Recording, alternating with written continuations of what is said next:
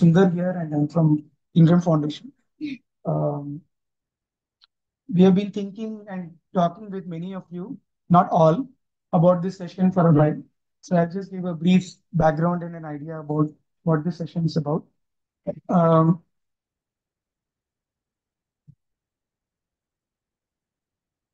um, so the planning, and the thinking for this session happened almost close to six to nine months, but it is probably just last two months that we thought, why don't we just utilize the opportunity of the IWMI-Tata program to start a broader conversation. And that's what this session is about.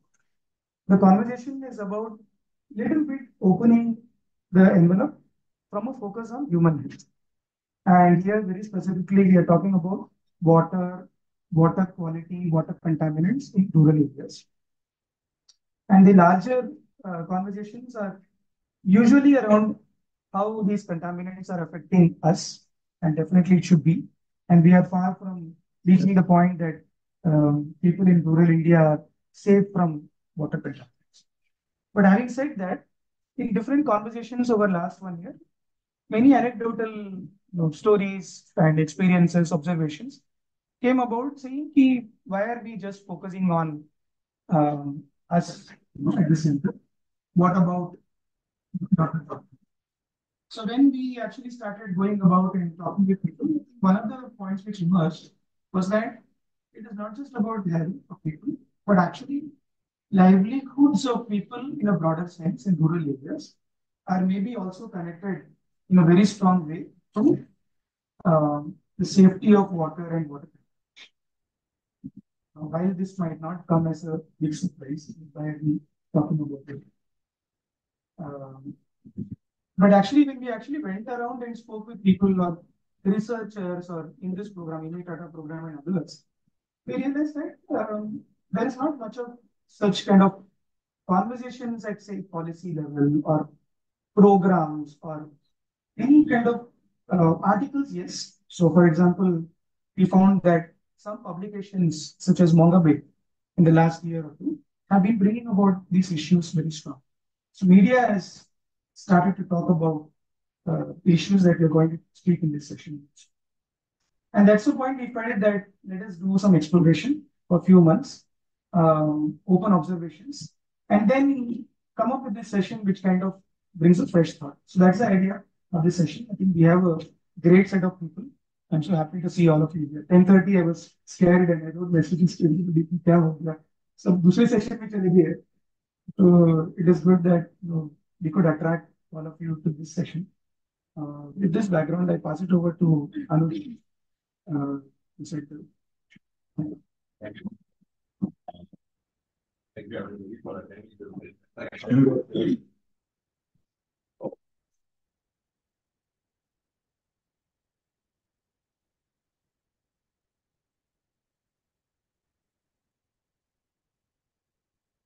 You don't need the permission. Uh, uh, good morning, and uh, thank you again for attending this session. Like Sundar was explaining, at Tata AMP uh, partnership, we have so many different things. Uh, finding a space for water quality, I think was quite a bit of a struggle, and I really want to congratulate the team to make that happen. That's number one. Number two, thinking of you know the presentations and the speakers we have.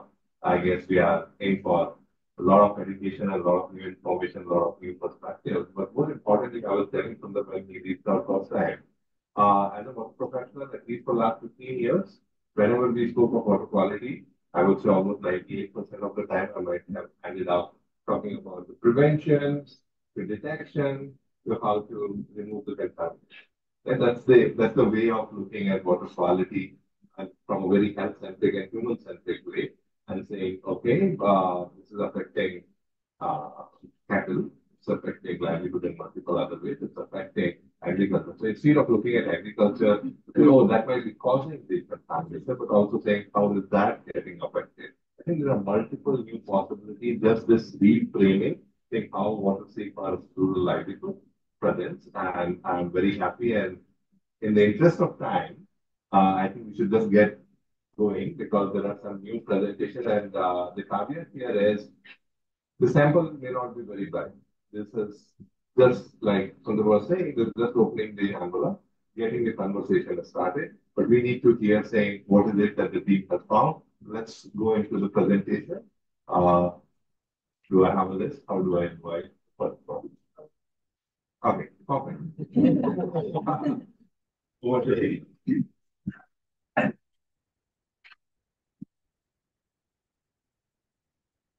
So the program brochure has, I think, the list of. Thank you, Anuj. And uh, as you're saying, you know, it's uh, right that um, over here, uh, it's more of the questions that we are asking. And we feel that uh, sometimes we need to ask the right questions.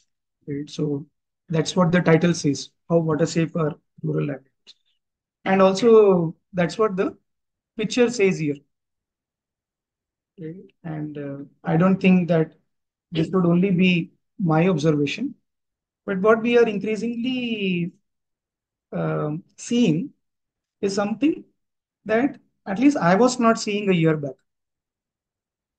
Now, I don't remember who it was who asked me, after which, whenever I'm going to villages, now I'm seeing, so what is, what are animals doing? What is cattle doing? And then uh, I'll come to another interesting picture at the end of the, uh, towards the end of the presentation. They are um, kind of at the tail of where we end, in the sense that all these water supply pipelines, you know, there's a rush for it, you know, when water comes and sometimes one hour and sometimes once in few days. So after all that, after all the struggle for water, you know, people actually trying to get water in their home or in the stand post or wherever, there are those drops which are falling off from it, right? So that is what you see, whether it's a hand pump or a water source. And that's where the cattle, the livestock, animals all around, that's what they are drinking. So they are drinking the same water. What I mean to say here, they are drinking the same water. Does it affect them in a similar way? What are our perceptions? We have heard a lot of different, when we actually went about, we, we got a whole range of perceptions of people. You don't know how tough um, pigs are with cows. I mean, it's a whole new conversation that we are having now. Um, so that's the idea. This uh, this uh, particular session. Mine is a little bit heavy on data and maps, even for me. I'm trying my best to consume what is there even on my slides. So please bear with me that hopefully, you know, I give justice to the information that has you know, come up. So before we begin, just two slides about us. I think we still deserve little bit attention. Um, and I don't think that today in the session uh, with um, Libby and others, I think we're going to talk about Jal Jeevan Mission and what is really going on. And uh, is, is everybody in rural India drinking safe water? I think we have a lot of time for that. My simple answer is no, but we'll all talk about it later. But for people who are coming new to water contamination, I just have a few bit of slides to just get all of us eased in. As to when we actually enter villages, when we go to farms, wide landscape and things look so nice, right? With water which is clean. And so why is contamination even happening? Uh, one is about the fact that India, uh, very few countries like India, where our primary source of drinking water is still the groundwater. I don't know the numbers, We'll see a lot of numbers ahead in this presentation, so I don't want to put more numbers percentages here. Um, a huge part of rural India still drinks groundwater. And groundwater is diverse because of so many, so many types of rocks. And as we go deep, deep, deep and exploitation, you get more mineralization and contaminants. So that's one story. The other whole story is a lot of different types of waste, right? Waste from cattle, uh, agricultural waste, pesticides and others which are getting in, which are not just by themselves, but they are causing other reactions inside. So I'll come to new contaminants that are coming up. They're coming up not necessarily because we are putting them in. They exist over there, but the new things that are going in are releasing them. A prime example being uranium in water, which was already there in rocks, but they are getting released now because of other stuff. So it's a lot of mix of all kind of things that is causing contamination. But how does it look like across the country? I don't think this map is so easy to read.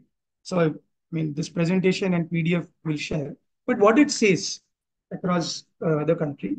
What it tries to say, each dot is one district roughly. And what it tries to say is that which is the top contaminant of that district. This is based on whatever I'm going to be presenting here is based on broader public data, government data coming from accepted uh, public information systems. So you see here that uh, iron and arsenic are more on the Indo-Gangetic plains, eastern side. You see a little bit of salinity on Gujarat, Rajasthan, and the coastal side, but um, not much of it. You know, as much as I would have expected, you don't see salinity so much on top in the other places. Fluorides on the Rajasthan or Andhra kind of side. So broadly, some trends that we would expect as people, some of the people working on these issues. Um, but some surprises for me in terms of why certain districts showed iron more than salinity. I'm, I'm also thinking, but this is the public information, and uh, many of us who have kind of calibrated this particular data set and kind of ground truth, uh, I still have more trust on this than what I download today from the current portals. So I'm still using this. This from around four or five years back, and this this is a little bit more trustable, at least you know. For anybody needs it, you can share this data. But apart from this, there is a whole other world. So the last one that I mentioned here, uh, less than 100 feet, 100 meters, starting from Punjab, but now across the country, you're seeing things like uranium coming up, some other place selenium. The more we measure, the more we are seeing. So that's the whole world of contaminants.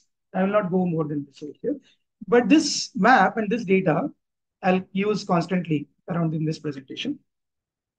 And especially the next one, uh, again, uh, I'll share the um, data, I'll share the methods and go into it.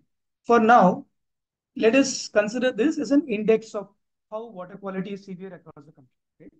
It is an index of severity. So you see some bright red spots in Rajasthan or some parts of Madhya Pradesh, but going down to Andhra, Telangana. But then you see a lot of blue spots also across the country, which are relatively low on the water quality index. Water quality index is something which weighs some contaminants more than others. Arsenic would be weighed much more than salinity.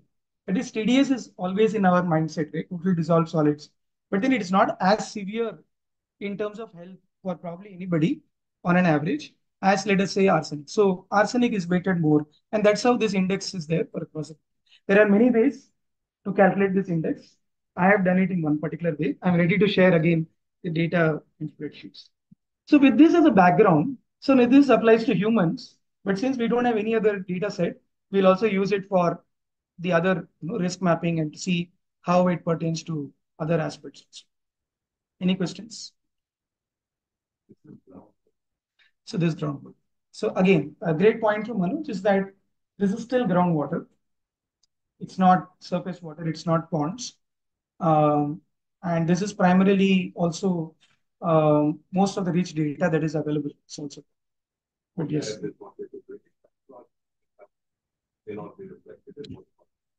Yeah, uh, so this is uh, it, it is it is available. It is in the back backend of this data set, but yes, it's more dynamic.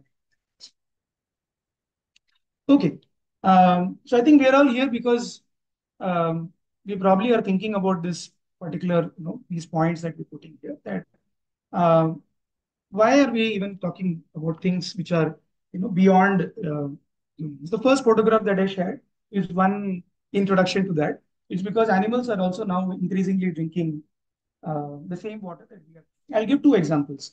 One is, uh, I think Himanshu some years back um, showed um, a tiger from one of the parks in Maharashtra.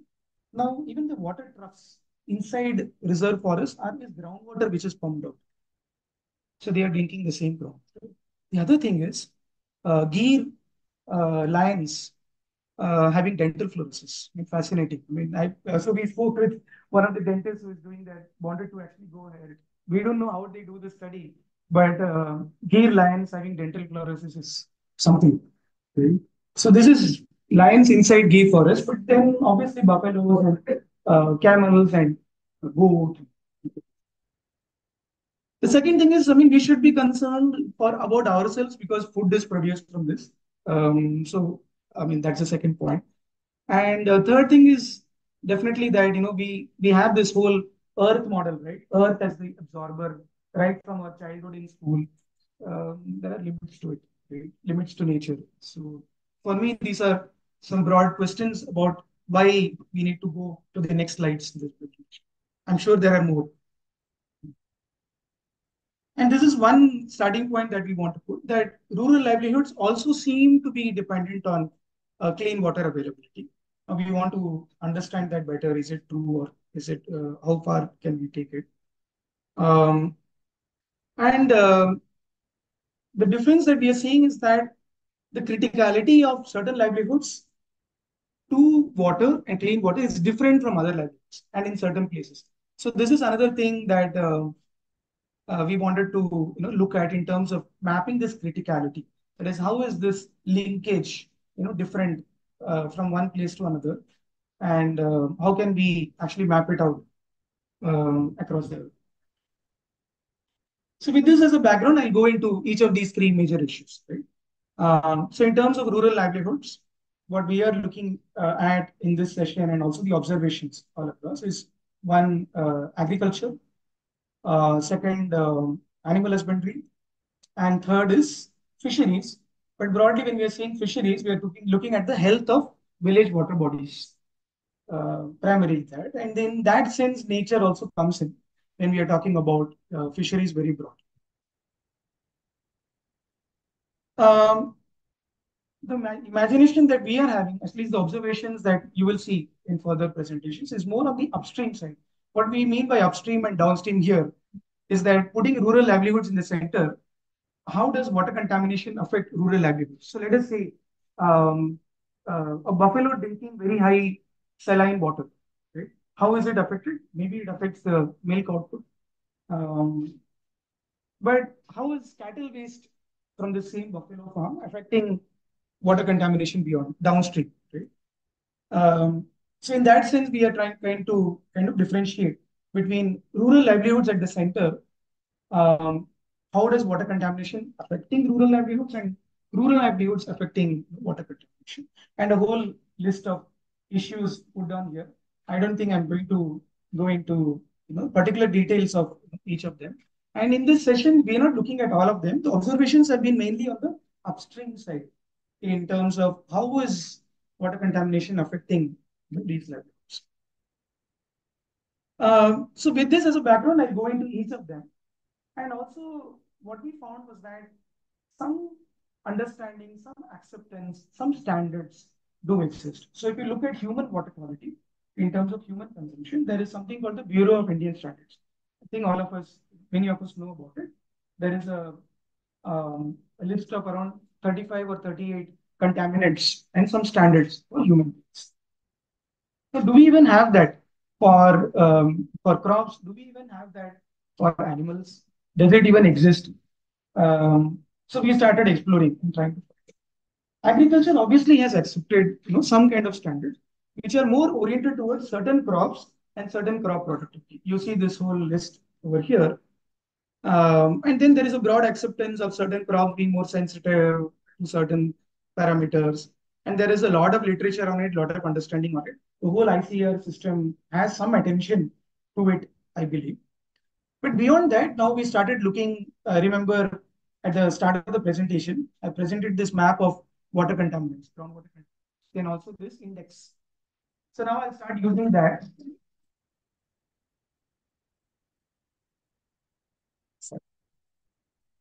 I'll start using that um, as a kind of a background towards looking at how agriculture also might be uh, getting affected.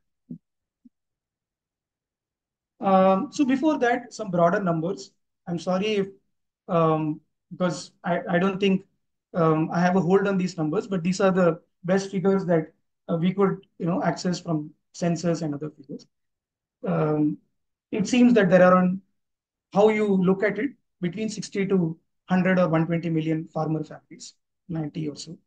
Total area irrigated, everybody has different uh, estimates on it, 140 million hectares or so. And then um, Tata program would rather go for an 85% groundwater irrigation. I, I believe 60% is the minimum, uh, but somewhere around that, at least 60%. So this is the kind of uh, range of scale that we're talking about in terms of this uh, scale of crops and this scale of groundwater irrigation and the contaminant water quality index uh, which came. Next slide. Um, I'll just pause here because these are estimates that we are trying to. So what we try to do over here is to look at the major contaminants. As I said, fluoride and arsenic are major, and also they are a little bit more severe. And we look at habitations which are affected in each of the districts in the country and the average size of the habitations. What might be the irrigated area over there? Put them together and sum, sum it up. So we are getting some broad figures which say that fluoride arsenic on one hand and salinity on one hand, we are talking about something like 9.5 million hectares, which may be exposed to water contamination from this irrigation. So why is that important? One we, under, once we, one we understand is the food chain and possibilities there. But other important thing here is the soil. Is because soil accumulates the uh, water, um, the content of water. And actually, we don't know what is happening. What, what happens when arsenic gets into soil? Does it get decomposed? And quite possible that it's getting maybe decomposed. There are maybe natural processes that are happening within soil. Just an area, there is some work on it, but just a broad area for us to think about. These are broad numbers to actually think that why this may be really important uh, for us. The next slide is more about putting these together at a national scale. so what we do here is we use what is called the agricultural census. Agricultural census gives us a uh, groundwater irrigated area in each district. So for example, this district here would have something like 60% area irrigated with groundwater and the rest there is canal water also coming in. But if you go east from here 100 kilometers, 115 to Dahod, you might get a very different picture. Rain-fed and groundwater irrigated might be maybe 30%. So that's what the groundwater, um, the agricultural census gives you, all approximate, but that is what we have. And then we have the water quality index from before. We just put it together and then try to find which areas of the country might be at a big risk from groundwater contaminants and food production. That's the next map. Again, map warning, because I, I, I found it a lot of time, a lot of time to try and understand which district there and what is happening. and the way in which we weighted, right, all of this is we gave fluoride and arsenic more importance. And that's why you get Rajasthan and West Bengal in the top 10 districts of the country. So it depends on how we give importance to what, right? I mean, I'm, as I said, this open data and analysis I'm ready to share. Uh, so you do your own analysis and you know, figure out. But this is what we get from a broader kind of picture that certain districts appear to be at more risk than others and um, from certain you know, contaminants. In terms of crop production, possibly food production, but I think what is more important is soil. And that will maybe be more important in the future for us to understand as to what is. So this is mostly um, what I have about agriculture. and the potential impact is, as I've already mentioned. But one thing I think we also need to understand is about the potential impact on nutrient content within food. Right? One is about toxins in soil, but also about what is happening to the nutrition um, content of food produced from, say, high fluoride. So this is the uh, second, uh, uh, I don't think you see the two tabs. So there are two tabs here, the situation I was talking about. The one, the bottom one over there, the, the red one over there, it has around 4,000 TDS, right? 4,000 TDS. It is a water supply in a village nearby from here where water runs constantly in that 4,000. There is a lot of 4,000 TDS water. We just you know, leave. Um, there is a tap over here, which comes possibly for three hours a day or, um, or sometimes, you know, half an hour a day. Uh, I think the photo maybe is not capturing it properly. One, the, the tap is at the top. Now, cattle don't touch this water, this 4000 TDS water. So they wait for people to get done that half an hour or one hour of this, and then they take drops. So we saw, you know, how it happens you know, over time, over few hours. So this is, I think, situation in some places. One of those dots you saw on the map, these are the situations you see there. Very surprisingly, there are water quality standards for animals. I mean, uh, it was quite surprising for me. And uh, and just put it out in the figure, the countries which follow it are obviously New Zealand obviously follows this because dairy economy is so important. So it and it seems that dairy economy is influenced by the quality of water that cattle should be. So I think here maybe there are people who would already know about it and might be acting about it. We haven't had those conversations with this institution. This is not readable. this is maybe a little bit more readable. but that's not the idea for you to consume it. I'm just putting it here so that it is there in the slides. So it seems all of these contaminants are also important for animals. Right? And I don't know how much, uh, I have not been thinking about it. I want to hear from you how much we have been uh, talking about it. The other whole thing about what all goes into animals today, right? plastics and others. Um, we can come to that. Okay, so what do I do here? Um, is take something called the livestock census. So livestock census I found is fascinating. It has data on 650,000 villages. Each village data, it was so tough for us to analyze it. There was so much data and I didn't need that data. And it talks about the kind of animals in each village, domestic animals in each village. And I think it's a rich data source, which we all should be uh, looking at for different purposes uh, that we want to work. So we take the same livestock census data, take it to a district level, the same water quality index we have before, and put it together. But first, we'll try to understand about animals. I, I, I got to understand a lot more about animals from the census. We have something like this, around 400 or 500, 400 to 500 million uh, animals around us in villages. I think it's uh, um, close to 40% or close to 30% of our population. Uh, rural female animals are counted, not male. Um, I found it interesting. I was not able to get from any, I mean, there is village level data on rural female animals, uh, but not on male. A lot of interesting things. I think the gender uh, uh, gender is reversed you know, with uh, with uh, cattle and the way we play God with uh, with cattle.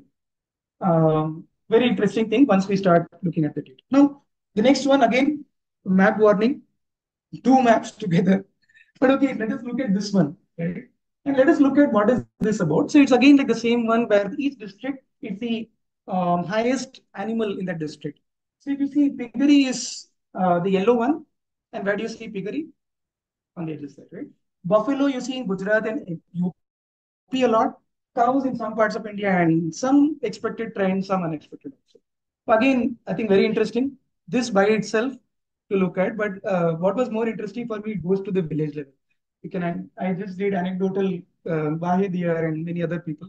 Guy buffalo. It was not bad. The data set was actually quite interesting. The other one is, just a total population, just to give a broad trend, but I think the map is not, the color, color scale is not red. Everything looks red uh, but what we are now doing here is to juxtapose this with the water quality that we have here to again try and see where are the risk zones um, not very surprisingly, the manner in which we have gone about it, we get very similar response as to the top 10 districts and that. Um, the root data is different, groundwater irrigated and here animals, but broad trends are what we get. So what do we understand is that certain parts of the country, maybe the animals are at more risk than others. And um, maybe we need to explore and go deeper into these parts. We just used a cutoff of 75% on that index and came to something like 131 million animals, which are possibly at a higher risk than others. Why 75%? We can use another cutoff.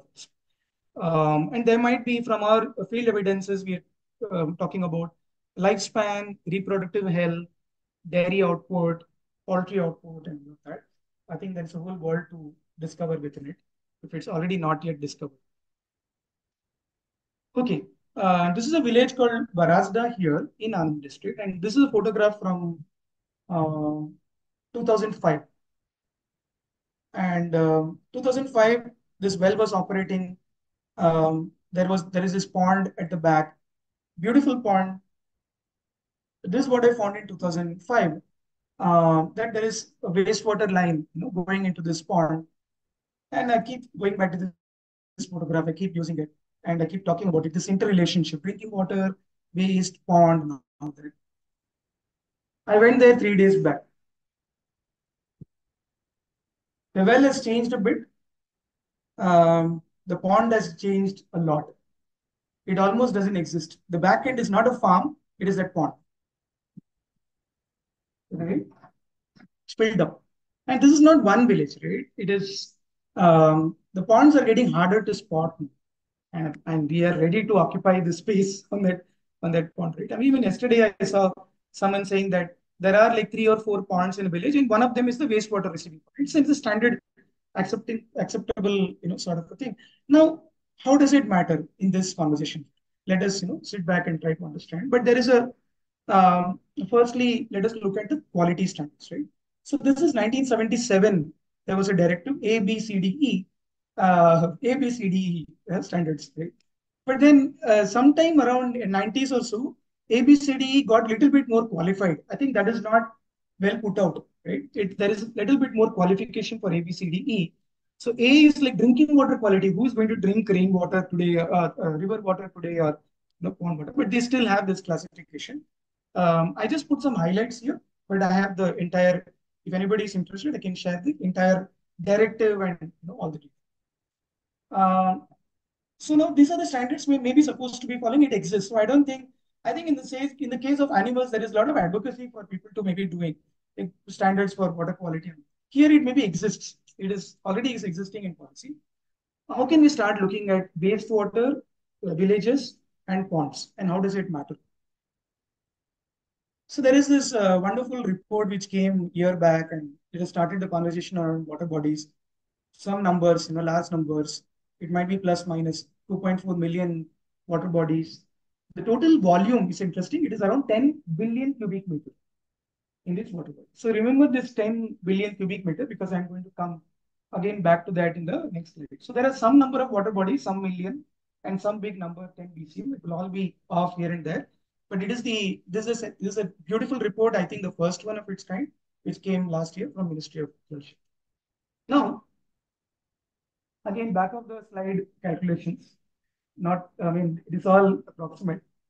Uh, the interesting thing is, if Jal Jeevan Mission succeeds, right? If everybody gets 55 LPCD, and I mean the standard drainage wastewater figures are much higher. I think in urban 70 or 80 percent but I just put it much down to 50%. That is water supply converting into 50% of uh, wastewater. That's coming to around 9 billion cubic meters. So in the earlier slide, we have a potential capacity of 10 BCM.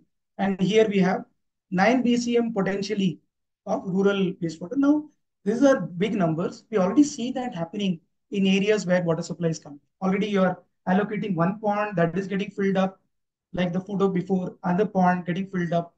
Why should we care? At least for fisheries or something, or at least for water. I'll come to that in the next slide. So these are comparable numbers, if not in 10 BCM and 9 BCM. Now, interesting points. Why do I bring it here? I think some people here know it. Alka is smiling. Right? Anybody else? Why am I bringing um, cookware and washing machines? Or more obvious. But why cookware? Anybody wants to watch? Forever Chemicals. Thank you so much. Uh, so, uh, non-stick cookware are contributing something called polyfluorochlorinated aromatic substances. We are in a state of denial in India today. But non-stick cookware is like so easy to gift and to absorb. It is very aspirational, right, in every family. And obviously, the rural penetration is of non-stick cookware is much higher than washing machines. It seems washing machines grow the market grows in rural areas every good monsoon. So, and we did a little bit of, very little bit of understanding on the market penetration. So washing machines now will grow with JJ. Right now it's 7% rural penetration. If we have like three good monsoons, until then JJM ka pani to aayega, saal. And washing machines don't go away you know, once they come. And it's important also in terms of women labor. Some areas are already picking it up as well. So now why washing machine importance? Not just for the volume, because we are getting more water efficient washing machines, but the top load detergents and all that. And that's why I think it's more important. Non-stick cookware is now, I think, at 5% and expected to grow 18%. But I think non-stick cookware will grow, uh, you know, much faster. Easier thing to. These are two, I think, trends which I think we need to be looking at, along with wastewater volume from JJM.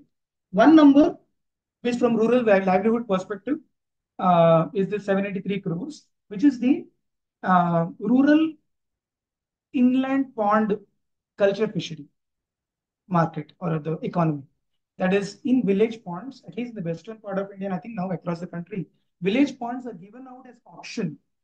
And there is a whole um, privatization of village ponds and fisheries. The overall economy of that is around 780 crores. That is what is the wastewater you know, getting. A lot of numbers. I'm just summarizing some of the numbers here. I, I, I warned you at the beginning that there are some numbers here, and the other number is that I'm out of time there. Um, but I'll just conclude here in the sense that um, that is a thinking behind uh, what is coming about from conversations to look at communities as a whole on looking at what is safe or what is safety, not just from a human health perspective. Can we start? It cannot be everywhere, but can it start? Then can this conversation start in some places? I mean, it's not possible for many communities to even think about it. Um, and uh, thinking beyond lifeline water to productive needs to ecosystem needs. Um, it's just a you know introduction and thought, food for thought you know, from here to broaden uh, the subject. Thank you so much. Apologies for overshooting. Thank you. Okay. Um, so Anuj, how should we go about it? Uh, the this was the entire package of the presentation, are there many more? So there are um, there is a lamb is presenting after that, and then there are two case studies after this. I think we should hear all the information. Sure, sure, sure. The informed decision based on panelists. I think a lot of this information is new for you to opine and connect with your experience that it's better to consume the new presentation. But my request would be there are three, like two case studies and one presentation, sorry, and anywhere between 30 to 40 minutes max, because then we have panelists for a reason. Sure, sure. My apologies for it.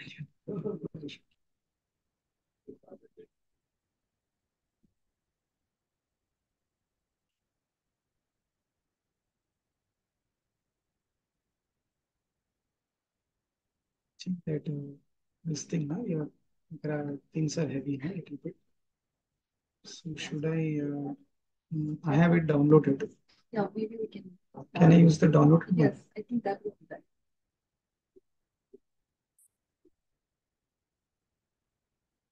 that's why i was worrying like whether it will work or not uh, Actually, it's there in your drive. Huh? This one. Maybe this is faster. Yeah, that would be fast.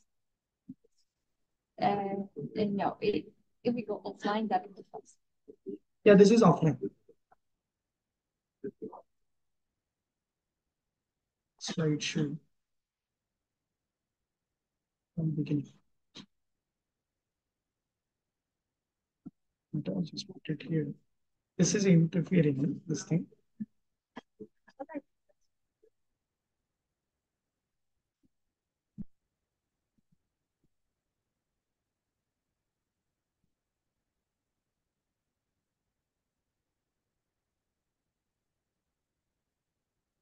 Hello, everyone.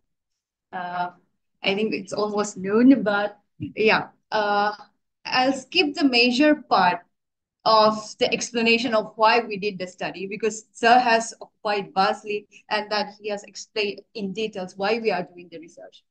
So uh, mostly I would uh, say that, yeah, INREM and IGP have been doing some work on uh, water quality and how it is impact on a rural livelihood. But then our focus area or are on different sectors. Like Sarah have already mentioned that we are uh, looking over the different activities, maybe the crop production, the animal husbandry, or the aquaculture or the uh, fishery, and like of course, uh, most stock of the town that is the drinking water.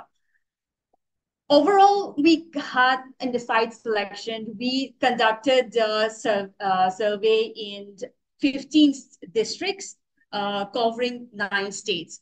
And uh, the number of samples we could get was 812. Please don't be overwhelmed by this number because we it was just a feedback that we took uh, because we wanted to know how many of these households are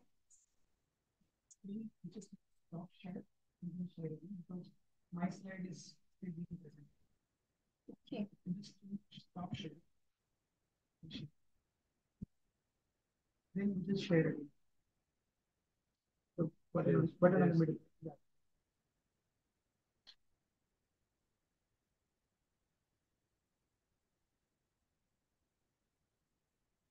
Is it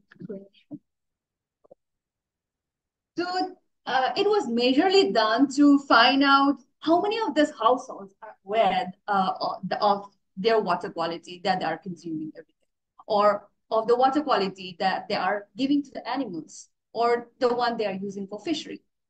So moving on to that, we had some, sorry, it's not moving, but yeah. It's fixed. It's fixed. Uh, no, it's okay. So we, after doing the, uh, uh, taking the responses, we found out that awareness, regarding awareness, 87 of them were aware. They were aware. And then out of that 87%, 75% have tasted the water.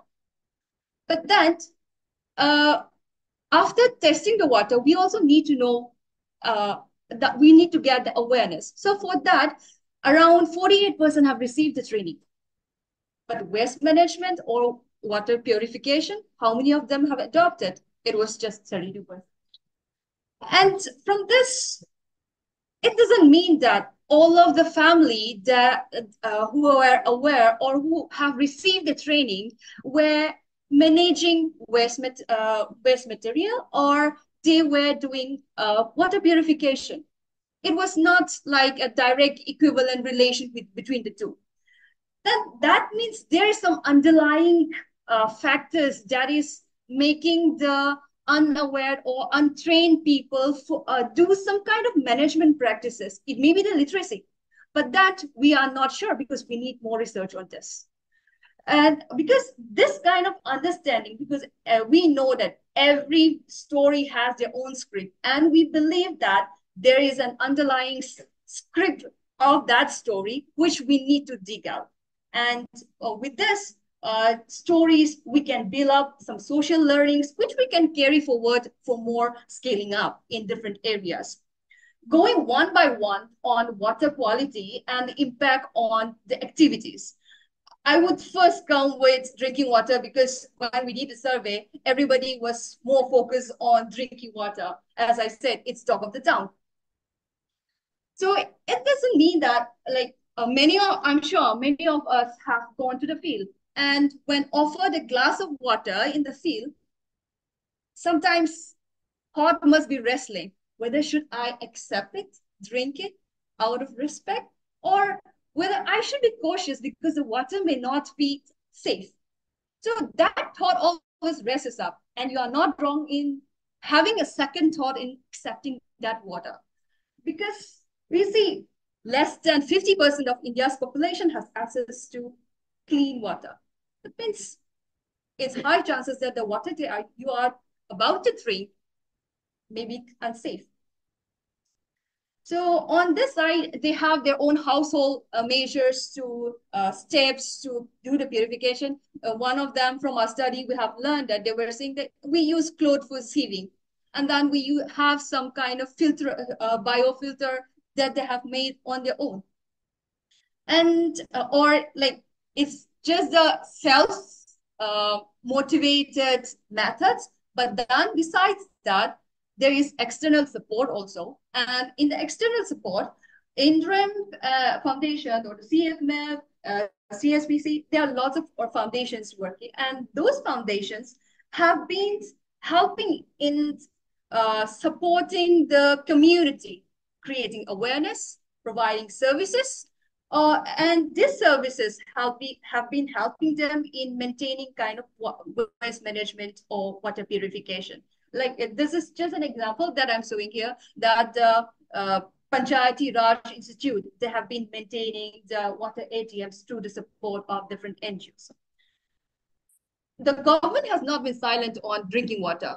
They have promoted lots of schemes and uh, like the Jal Jeevan Mission uh, and experts are all here, and the Vasudha scheme or the PHET. There are lots of schemes on that. And uh, particularly when it comes to the government awareness on uh, the water quality and the impact, contaminated area, I should say. Coming on that, there are also different uh, programs on that. There are sometimes painting uh, the what Sundar has also shown, they have painted red color, coloring of the text. That's one of the measures that they are taking. And sometimes they are like, uh, uh, they have gone for opening testing laboratories or providing kits. But then in all of these measures, the government have also find out some defects. Uh, they, they find it hard to uh, create awareness. This is the challenges that they have mentioned. And besides that, it's hard to get a timely monitoring because of the institutional setup. So maybe that is the sphere that we can look a little bit more. So on another one that is on animal husbandry, the findings we have was like, uh, before going to the findings, let me narrate a story where it, it shows that it has an impact on an uh, impact on livelihood. There were it's a village in MP, uh, and this particular village, two to three years ago, the whole village, the cattle in the whole village was sick, and uh, the re like the reason was water contaminated water, and in that uh, pandemic, fifteen percent of the animals died, and then people are like they don't want to take risk, so from next time on they reduce the cattle rearing, and that uh, from continuing with that slowly they reduce the cattle uh, rearing and that uh, they shift to another means of livelihood. So that was one another story. And what we have found out that people are like so, uh, you know, careless, or I should I, I'm not able to catch the exact word, enlighten me if I'm wrong, but that people are so uh, skeptical, like they don't think twice before like animals are died they don't mind throwing away because for humans we at least care of dumping uh, of putting it burying it. But then for animals in certain villages they, they just dump in open areas. Like if, even near to the places where the cows are grazing. So in the open areas also they are uh, dumping. From the personal level the or the household level the, uh, the people are like uh, sometimes they they know that the water quality or the grasses that are available are not uh, that uh, nutritious or it's contaminated. So what they do is that uh, they go to, uh, they tie their animals, but it's kind of restriction. Uh, they tie their animals and that uh, sometimes they may have a separate trough. And there may be, like I saw one uh, there was one separate well for animals uh, where there is Gosala, they keep separate well for animals. From the government side related to animals, as soon as Sundar's presentation has already mentioned, like there is less emphasis given to the animals uh, or to the animal husbandry.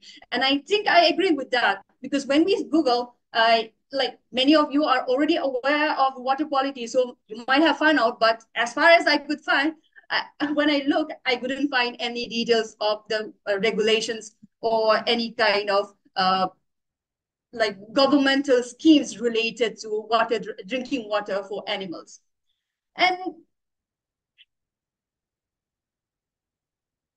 most of the animals in India, one, uh, one, this is the major point that I want to bring up is that most of the animals, few, when they have few, they die it. But when it is in a large herd, they usually take out in, for open grazing. When it's open grazing, that uh, we are not sure what kind of water they are going to consume, what kind of fodder they are going to. So we need to think about monitoring the land management practices and re-establishing pastures so that we can provide more nutritious uh, forages.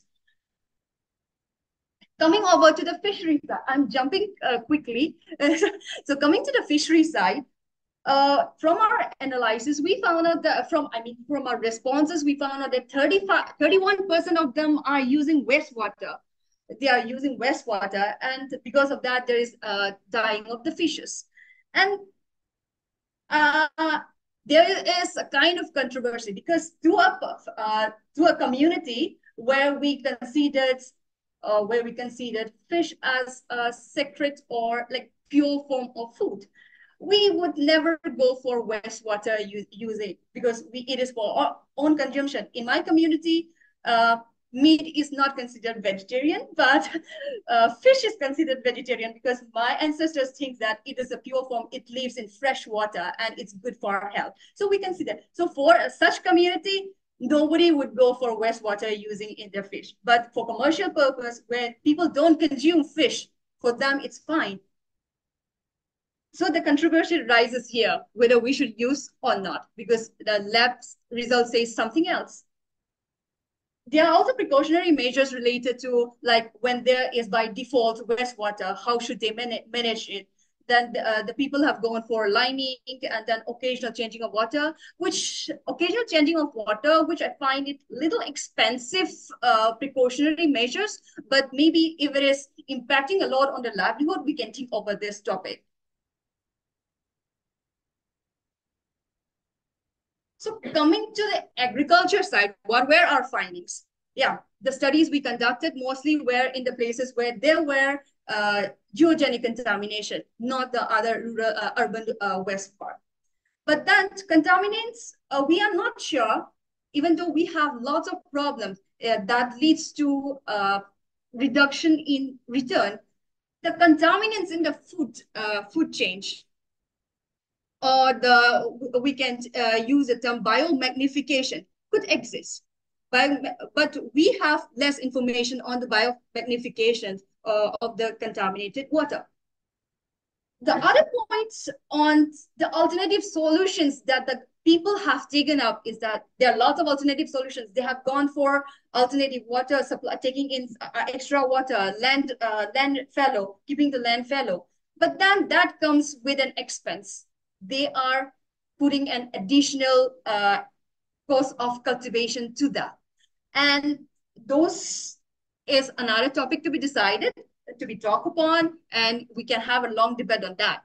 And on from the government side, the government has been uh, like as compared to the animal side, their little bit of work is that because they have gone for surface water supply of surface water. But how long will it take? Or what kind of effort do we need to reach the last mile?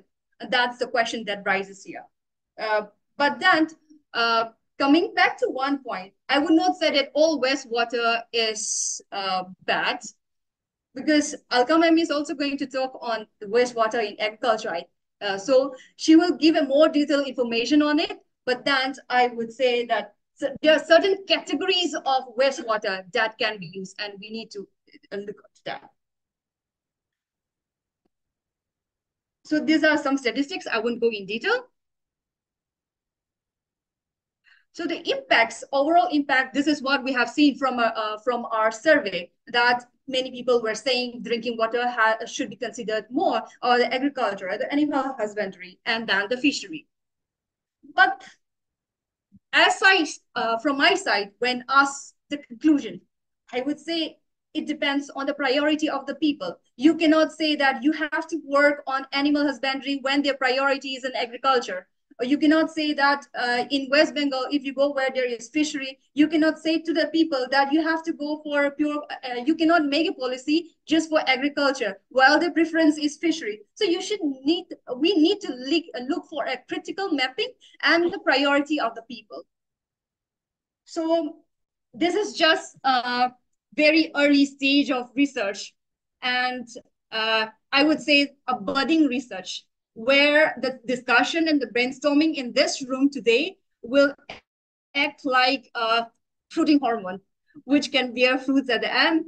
And looking forward to the uh, like what responses do you have regarding these questions? We would really love to hear. And maybe after the field insights and the presentation on uh, wastewater in agriculture, we can uh, do a bit of exercise on the Mentimeter. Thank you. That's all.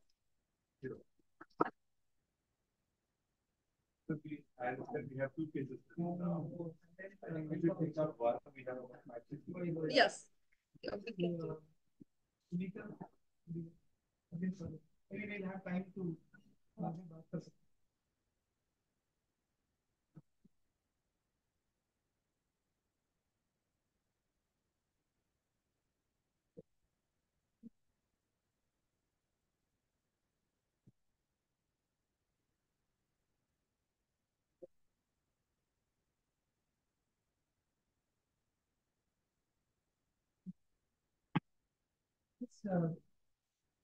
uh, DG from Cyber Foundation.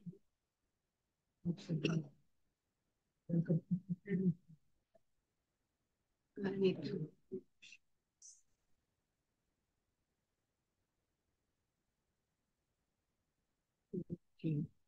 screen share.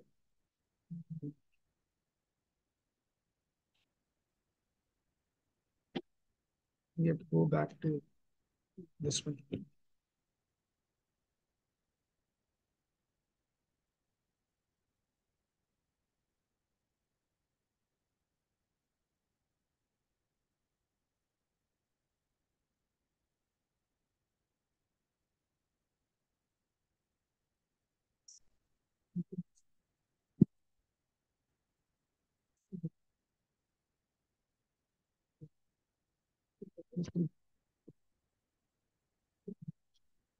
Okay.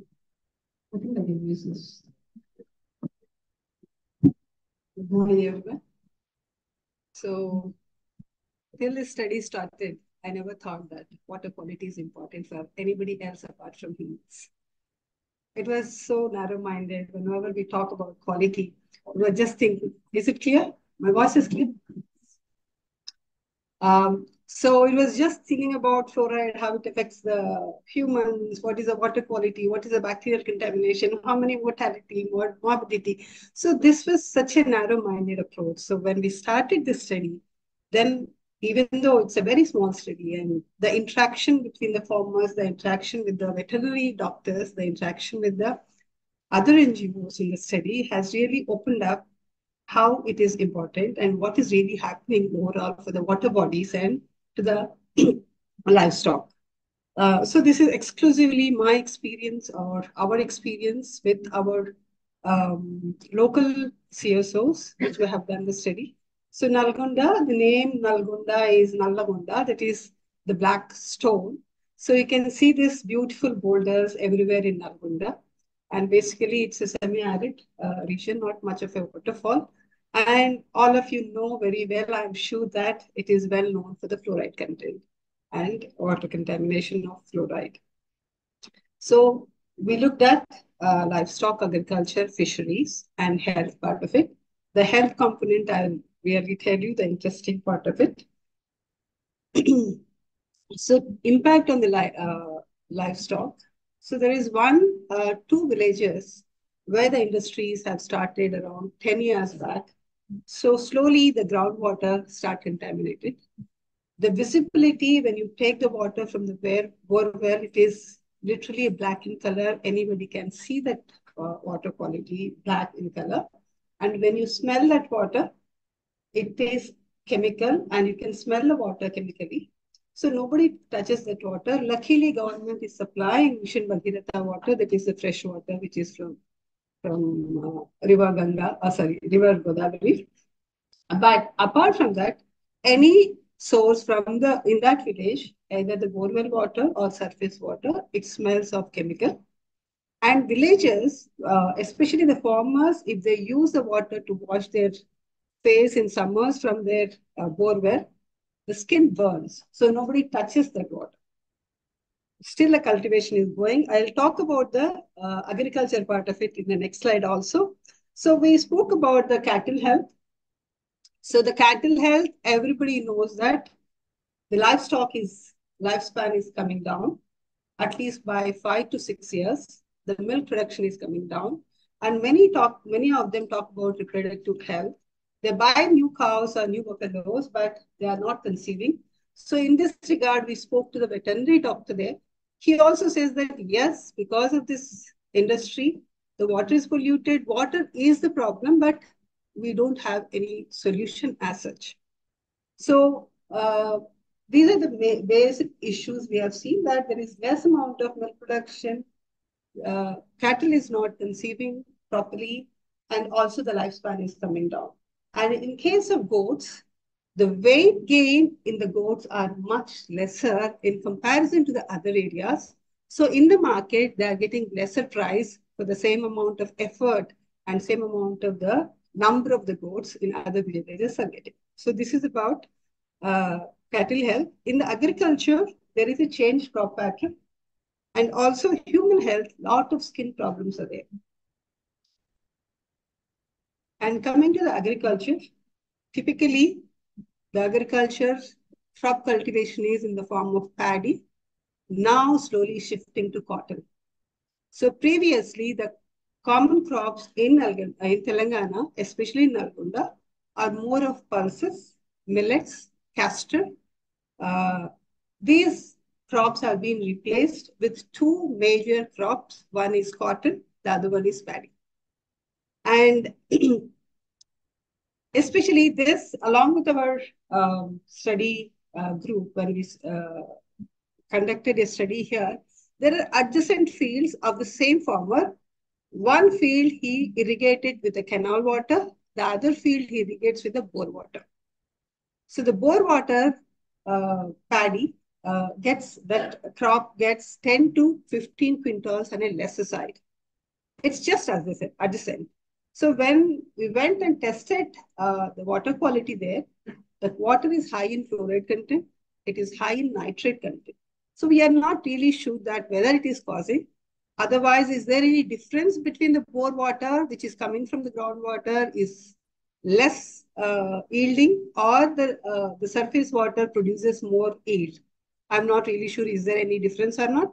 But this is our observation because there was a request from the farmer. He said that there is a difference between these yield. So he requested us to test it, and when we tested, this is the uh, this is what we found.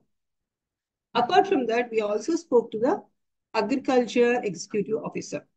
So just to find out whether there is any change in the crop pattern, whether the amount of agriculture land which is being cultivated is reduced or increased. So in two villages where these industries are there, there are 3,200 acres of land was under cultivation. In four years back, now it has come down to 980 acres. So these are the uh, figures which are given by AEO. There is another uh, two villages where 3,800 acres of land was cultivated.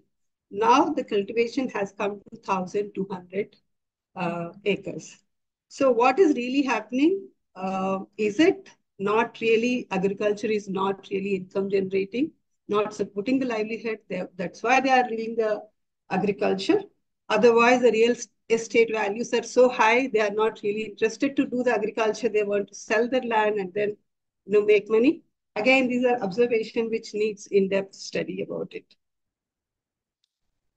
So here, Pochampalli weave, it is something like ikat weaving, where they create a design in the yarn itself and then they weave it. So till two, uh, 2014, there was no drainage system in that village. There were soak pits in the in their own houses. So this dyed water was put into the soak pits. In 2014, the drainage system, open drainage system has been planned and executed. And from that time onwards, the dye is directly thrown into the open drainage. So the uh, soak pits are not being used. So this water is reaching the uh, pond nearby and fisheries is getting affected especially we tested the pH, the pH has come to 9. So the 9, whenever the higher pH, the denaturing of the cellular uh, skin cell, uh, cellular activity goes on. So this decreases the shelf life of the fish. So thereby, these people cannot really go far to sell the fish. They have to depend on the local market. They may not able to get a better price. So uh, this is another thing um, which we observe. And this is uh, emerging problems, the uranium, which Sundar was also mentioning about. So there are five villages we just observed. In this five villages, these are the tribal area, uh, very far away. The health services are also not really uh, easily uh, approachable because either they have to walk six to eight kilometers Otherwise, they have to use a bike in that very rough uh, roads. the major health concern is kidney problems there. So can you guess that what could be the number of kidney pro problems when I say that major health uh, risk or the major health diseases they are suffering with kidney diseases? Can you just give a rough uh, percentage or the numbers in a thousand population? Anybody? Rough? Yes. 8%. According to WHO, any, anything more than 20% should be considered as a public health problem, right? So a 780 uh, population, there are around 100 kidney related issues. Again, this data is coming from Asha worker, from the Anganwadi. So they are not clear whether it is a kidney stones or a real kidney disease as such, but around 100 people are suffering. So in all these five villages, the population is around 1,000 to 1,500, but the number of kidney problems are around 100 to 200 people are suffering with kidney problems. And migration is one of the major issue uh, in this uh, village. I feel that it's good they are living. Yeah. Um, so we also observed that there is a interconnected influences, right? For example, the policies to promote rice stopped, uh, you know, and minimum price, uh, minimum, what do you call? Uh, uh, minimum support price. Yeah. So that uh, totally people stopped uh, cultivating millets, change in the crop, crop pattern, untreated water disposal, and industries in the form of development. We are creating industries well accepted, but at the same time, where we are constructing this and regulations are not being implemented, and maybe the climate change we have not really studied. So that is resulting in going for the deeper aquifers, excess usage of fertilizers, and uh, boost into uh, uh, weaving activity. All of them again contributing to the uh, groundwater contamination, surface water contamination, and dependency on the deeper aquifers. Again, that is resulting in less yield, change in the crop pattern, less cultivated land, less income, less distance, uh, long distances per posture, all of them leading to challenge to the livelihood. And also migration is one of the major issues. And major health complications are going to be there because relate the emerging contaminants and the health relation, we have not yet really uh, well equipped to deal with it. So um, this is what the study found out. So the solutions also, uh, yeah, the government, one is that Mission Kakatiya has been implemented by the government to regenerate the lakes, which is 30% success wherever it has happened. People said that there is an increased groundwater level, increased cultivated land, and uh, grazing part also for the cattle has been increased. And some of the NGOs are working on uh, few initiatives are wet and dry cultivations, testing water quality, creating awareness to use soak beds, and communities, surprisingly, communities talk about the problems, but they are not really very response, uh, no much response, maybe because the awareness of the interlinkages between water quality and problems are not really good. In all the villages, we have seen only one individual has taken the initiative where he constructed a tank for the cattle to provide the water. So uh, I feel that to create a water safe community, we need to come together. So then only we can able to see the problem and address the problems. Thank you.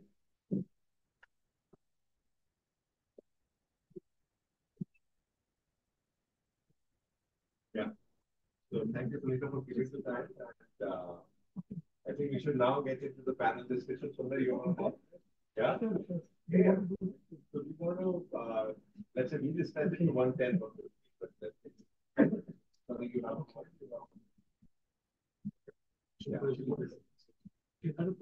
yeah, yeah, yeah. Alka had a presentation. So I think maybe Alka, we can just reduce it. We'll take 10 minutes. Yeah, I can go. I know, I hate to do this. This is race against time.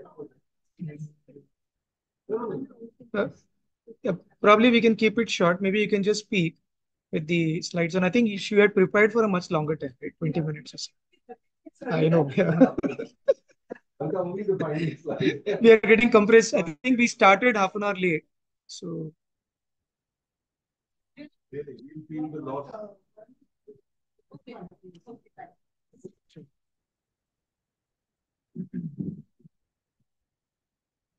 I will be skipping the slides very fast. So bear with me. You get one slide.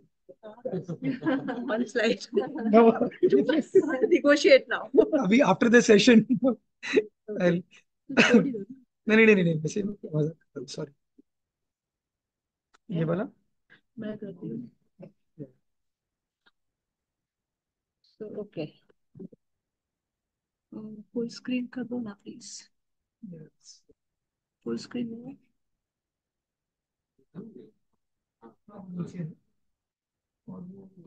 click oh, sorry. Full screen कहाँ है? Where is full screen? This one?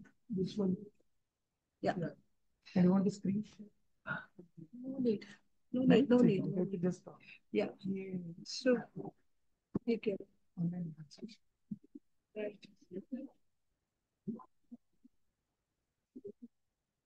I will try to be as fast as possible. Uh, so I'll be skipping most of the slides. So I was going to talk about wastewater reuse, its economics and health impacts both. Uh, let me skip this global scenario. Okay. So the two problems with wastewater is this, that, uh, you know, wastewater irrigation is a known fact now. Everywhere, whatever wastewater is produced is being used for agriculture. That's an established fact. So the first challenge is that fresh water is reduced for irrigation. In that case, uh, wastewater in many places is taking over, replacing fresh water use for irrigation. So that's the first scenario. Second challenge is, though it is being used, 70% of wastewater is untreated and left into water bodies, contaminating water bodies. Uh, this we are accepting it's established. okay, so uh, this is a case of uh, Rajkot, uh, where you know, despite uh, many incentives and policies and scheme from the municipality and the state government to use wastewater for other uses, but it was really failing in many ways. The municipality also was trying to reuse it. There were incentives, the infrastructure was given, but the amount or the quantity which is being used for other uses, you can see it. It's a very recent data. In municipal uses 0.2 MLD. That's all. Rest 210 MLD was all for agriculture. And there is an additional benefit of using irrigation, uh, wastewater for irrigation. That is the N, P, and value, uh, which is already there embedded in the wastewater. So, okay, I'm skipping this. So this is an interesting slide. This is a snapshot of what is happening in Ahmedabad. Total treatment capacity as claimed by AMC is 1200 MLD. The total sewage received by these STPs is 1000 MLD. Actual sewage treated is 920 MLD. Sewage bypass from STPs is 160 MLD. Each of the STP in all the cities have a bypass line for maintenance of STP or whatever other reasons. And this phenomena is not only for maintenance, it's a regular thing. Every day there would be bypassing. So total untreated sewage from Ahmedabad is 160 plus 600. Although sewage generation is 1600, actual generation of sewage is that much. So really, you know, so much is untreated. Okay. Okay, I think your six point three was a, uh, completely new number. Yeah, what? Six one three. Where did the six one three come? One two five two minus. Yes, yes. Yeah. Right? Yeah. One two five two minus nine. 1693 minus uh, uh, 920. So the total sewage generation is a valid Yes, data point with which you are doing this. the minus 920. So it will come 613. Yeah. Total cities in India are 4,000 cities. Uh, I'm leaving this. Out of that, uh, 40 years ago, the sewage generated by cities was 73, which, which could serve uh, uh, as irrigation water was 73,000 hectares. Now, uh, if you look at the cities which are sewered, because collection of wastewater is a precondition for its use as irrigation. So 175 cities are collecting wastewater through sewage collection systems. So in that 175 cities, wastewater irrigation can be planned in an effective way. Uh, there were field studies which I have done. Uh, Jammu and Kashmir, Punjab, Gujarat, Maharashtra, Karnataka, and Tamil Nadu and area in acreage where irrigation is happening is this. I'm not reading it out. Uh, the only place, the only state where it is happening formally, and this data in this data is Punjab, where all the irrigation uses are formal, give, done by uh, done by irrigation department, not irrigation department, soil and water conservation department. Although this is happening, public health and soil water quality concerns are huge, many of which Sundar has talked already. But there is sanitation safety plan, uh, which describes that how can you reduce the risk of using wastewater. There is a way given in the sanitation safety plan, which is a publication of WHO and Vishwanath was part of it. Uh, we have modified that to look at the sanitation safety as uh, as told by the farmers, as narrated by the farmers only, that whether they find it risky or not. This method I'm not describing again. Okay, there are some safe practices of using wastewater by farmers themselves. So they channel the wastewater, then they put it in the natural drains, then in a settling tank, then it's pumped into furrows, let it settle, and from furrows they apply it. So in this process, it's naturally treated and remain becomes safe for irrigation. The other things which farmers do is they sometimes use gloves and gumboots for uh, doing irrigation. Uh, there is a tendency of wastewater when it is flowing in a river body to get clean on its own. There is a tendency, and I have documented this. This is the way wastewater flows in Ahmedabad, and the water points where it is collected, and the way water moves. Okay. Heavy metal, industrial contaminants, already covered. This is also I'm leaving. Just showing. Emerging contaminants, forever chemicals. Thank you. Done.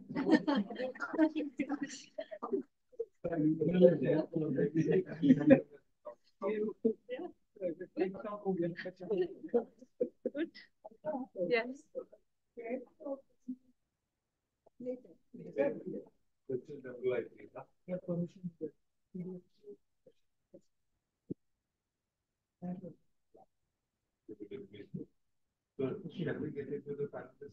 Yeah. So, Didi ma'am, can you just come in, you know, during the discussion, and just speak?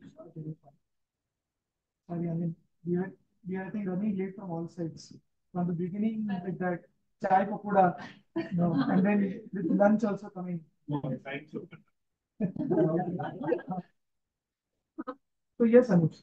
Yeah, yeah, no, no, let's get into the, uh, So we have uh, Vishwanath, uh, Nafisa Ben.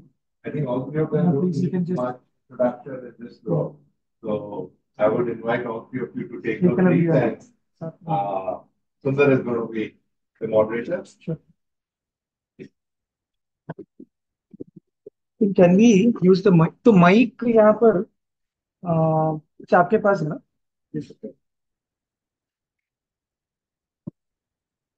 तो राहित इधर video हाँ mic यहाँ पर दे सकते हैं।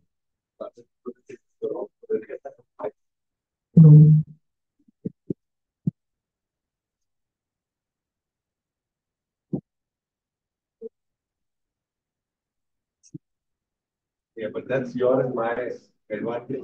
Look now.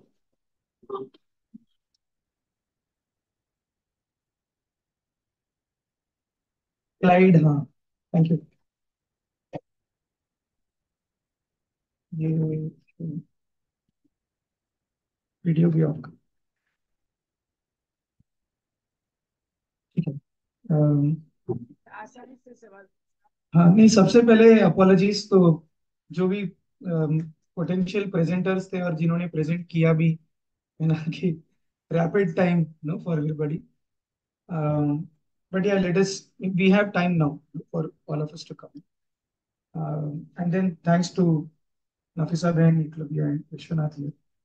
Um, uh, as shared, you know, this is a wide exploration, and now you have little bit flavor of uh, what we some of us have observed or worked on till now. Um, start with Nafisa Ben. So Nafisa Ben, we know of your work in Utthan and you know, work on uh, women and water conservation and decades of experience. And what are you seeing today with all of that. And it'll be interesting to hear from you about how you are reflecting, you know, on what we are talking about over here. I think mainly from, Um, I think the conversations also that you have been sharing with all of us in terms of your experience and how is it changing over the years.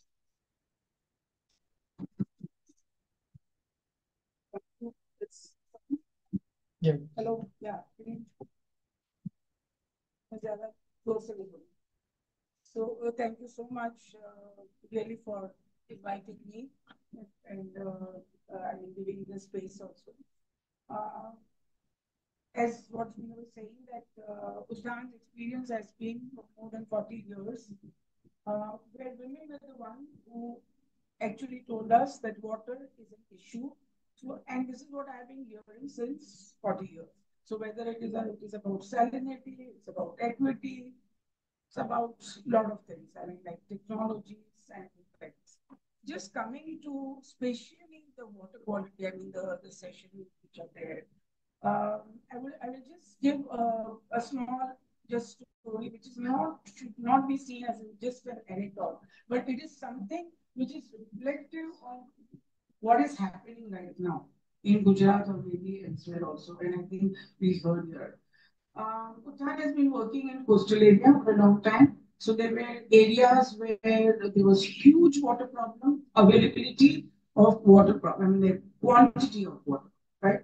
Um, uh, I mean, quality, bacteriological quality, and those things were there. And, you know, we say, okay, create awareness and will change. And so that is one part of it. Now, in this area, I'm talking about from Bhavnagar to Mahuva, where has been working, and where the community, especially the women's groups, you know, they uh, came together and with the help of government and all, there are a lot of water bodies which have been created in this area. To the extent that this area, where once upon a time people used to migrate out, they started coming in and settling because there was so much of water and then the whole economy was changing. And now, and also our, uh, I mean, some of our women farmers, because when we talk about farmers, we very much keep women farmers in mind. Of course, men farmers are also there. They have been taking up on a large scale organic farming. Now, what they're saying, I was just there a month back, you know, and I mean, uh, continuously we've been getting this uh, kind of complaints. What has happened is that in that area, a lot of these factories which have come up. So at one level, there are this lignite mining. Now, because of lignite mining, people are scared. They don't know what is happening, you know, what is happening underground. Because there are huge heaps of uh, mud which is thrown, and they don't know what is happening to their kit. They don't know what is happening to the water bodies, you know, which they have. Plus, there are these factories around these villages hmm. where, uh, because their land has been taken away and all that. And they release water. Now, these are huge water bodies which were created by communities for the survival. I mean, this is what we're talking about with drinking waters, uh, you know, security or livelihood security. And this was really good fresh water bodies. And they just go and at night they release, Uh, they dump the uh, wastewater from their uh, factories. I mean, I didn't bring this photographs and slides and all that, but we'll be. And so they're saying that at one level, we are talking about organic farming and, you know, water security. So water security means availability of water at any time at my doorstep, but good quality water. I mean, that even now people themselves are very conscious about that. Yes, they need to have good quality. And they're saying, okay, we have done everything what we were supposed to do as communities, you know, as women, I mean, leaders and everything. And now there is nobody to protect that water because government is not taking any stand on this. You know, the communities are, you know, where they are complaining. There are lots of fights. There is a lot of corruption. So women are saying, what is the answer to this? We have done whatever we're supposed to to secure our Uh, water and, you know, uh, water security villages. Like we're quite sufficient. Uh, we had so much of water and livelihood. And today, I mean, they are they are in such a condition and they're getting more and more into it. They say the only source, you know, they're becoming dependent is Jeevan Mission, which they didn't want to because Jeevan Mission, the water that they're getting, that they've been hearing stories about everywhere, that you know, it comes one day, it doesn't come second day, it doesn't come third day, it comes for some time, you know, all this kind of thing. So, which means that they're saying we may just have to leave this place. So, imagine those people uh, earlier used to migrate, they came, I mean, this, they started their whole economy changed. And now, again, because of water contamination and uh, what is happening, how this uh, you know, this whole uh, contaminated water gets into their food chain. And they're saying that, so we are neither this way or not, not that way. I mean, हम लोग क्या बोलेंगे हम लोग organic farming करते हैं हम करते हैं organic farming we are doing organic farming but the water doesn't allow us to do that and which is coming from there and, and there's no protection so what is the so the question is that I'm, I, I mean, I, I don't think I have a solution. I think that I'm, I'm bringing this question from those women from the community as to where is the answer? Are the answers in the policies? Yeah, policies are saying that clear water should be not, I mean, should not be contaminated by the uh, industries and all that. And who's to protect that water? And when, when they go to protect it, then what happens? They put either behind the bars or they are beaten up you know so what is the solution to this i mean so i'm sorry but i'm i'm reading more question rather than any answer you know because to me awareness and all that we've done a lot i mean lot of awareness more awareness is there in communities uh, I'm, I'm not saying that we don't need that uh, uh, continuing and but this whole thing is blatant, I mean, blatantly just spoiling, taking away their resources. Land being taken away, water being contaminated, what do they do? So I just end that with uh, my uh, say because about technologies and all that and alternatives and all that one can talk. I mean, we've got a huge experience with the communities in terms of what different alternate alternatives and how do you do gender sensitive management. So you know we are talking about equitable distribution of water, sustainability. All these things are there. You know, uh, you know, pond came about that like Utthan's experience goes back 40 years back when we started in saline area and due saline area mein, we'll do lining of the pond and harvesting. And that was a kind of an innovative uh, idea which was uh, and then uh, you know roof water tank and subsurface check to prevent seawater up into the so, so many alternatives are there, but then what, what do you do with that water? water is the question. Mr. Green, I think so many questions that you have raised and put forward, right? Especially what uh, the women ask you, the women's groups, about what more can we do right? after doing so much for a few decades. And, and I think those questions are important. And it's uh, that's also the purpose here. So sorry, I think the question is, what is it that we as a community can do here? And what is it that government is doing? Or because what government is not doing? Is something that this community can do. There is a there is a wider responsibility. So there is a wider responsibility, and I think we need to. That's the reason we need to start talking about it. Um, so uh, going to Eklavya, Eklavya, I think very interesting conversation that we had, and we started uh, talking about this session, and um, um, so I just leave it to you in terms of your reflection now that we are here and what comes to you.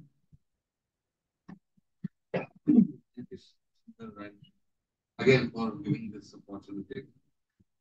Um, I will be answering this question from a very specific lens, and the lens is uh, of the flood prone areas. And when I say the flood prone areas, basically in UP, Bihar, Bengal, and Assam, and the other uh, northeastern states. You see, uh, during floods, in fact, post floods, the habitations they tend to depend a lot on livestock for the survival. I mean, that is the immediate uh, check that they have, which they can, you know, um, use um, for additional resources which they require to resurrect themselves, and the other being migration. But this is something which is instant. Now, when uh, Sundar reached out and we had that conversation, I, I kept on thinking that, you know, how, how do I locate this entire thought process in, in this landscape? And I, given an opportunity, I always grab it with all my hands to articulate what is actually happening in the platform.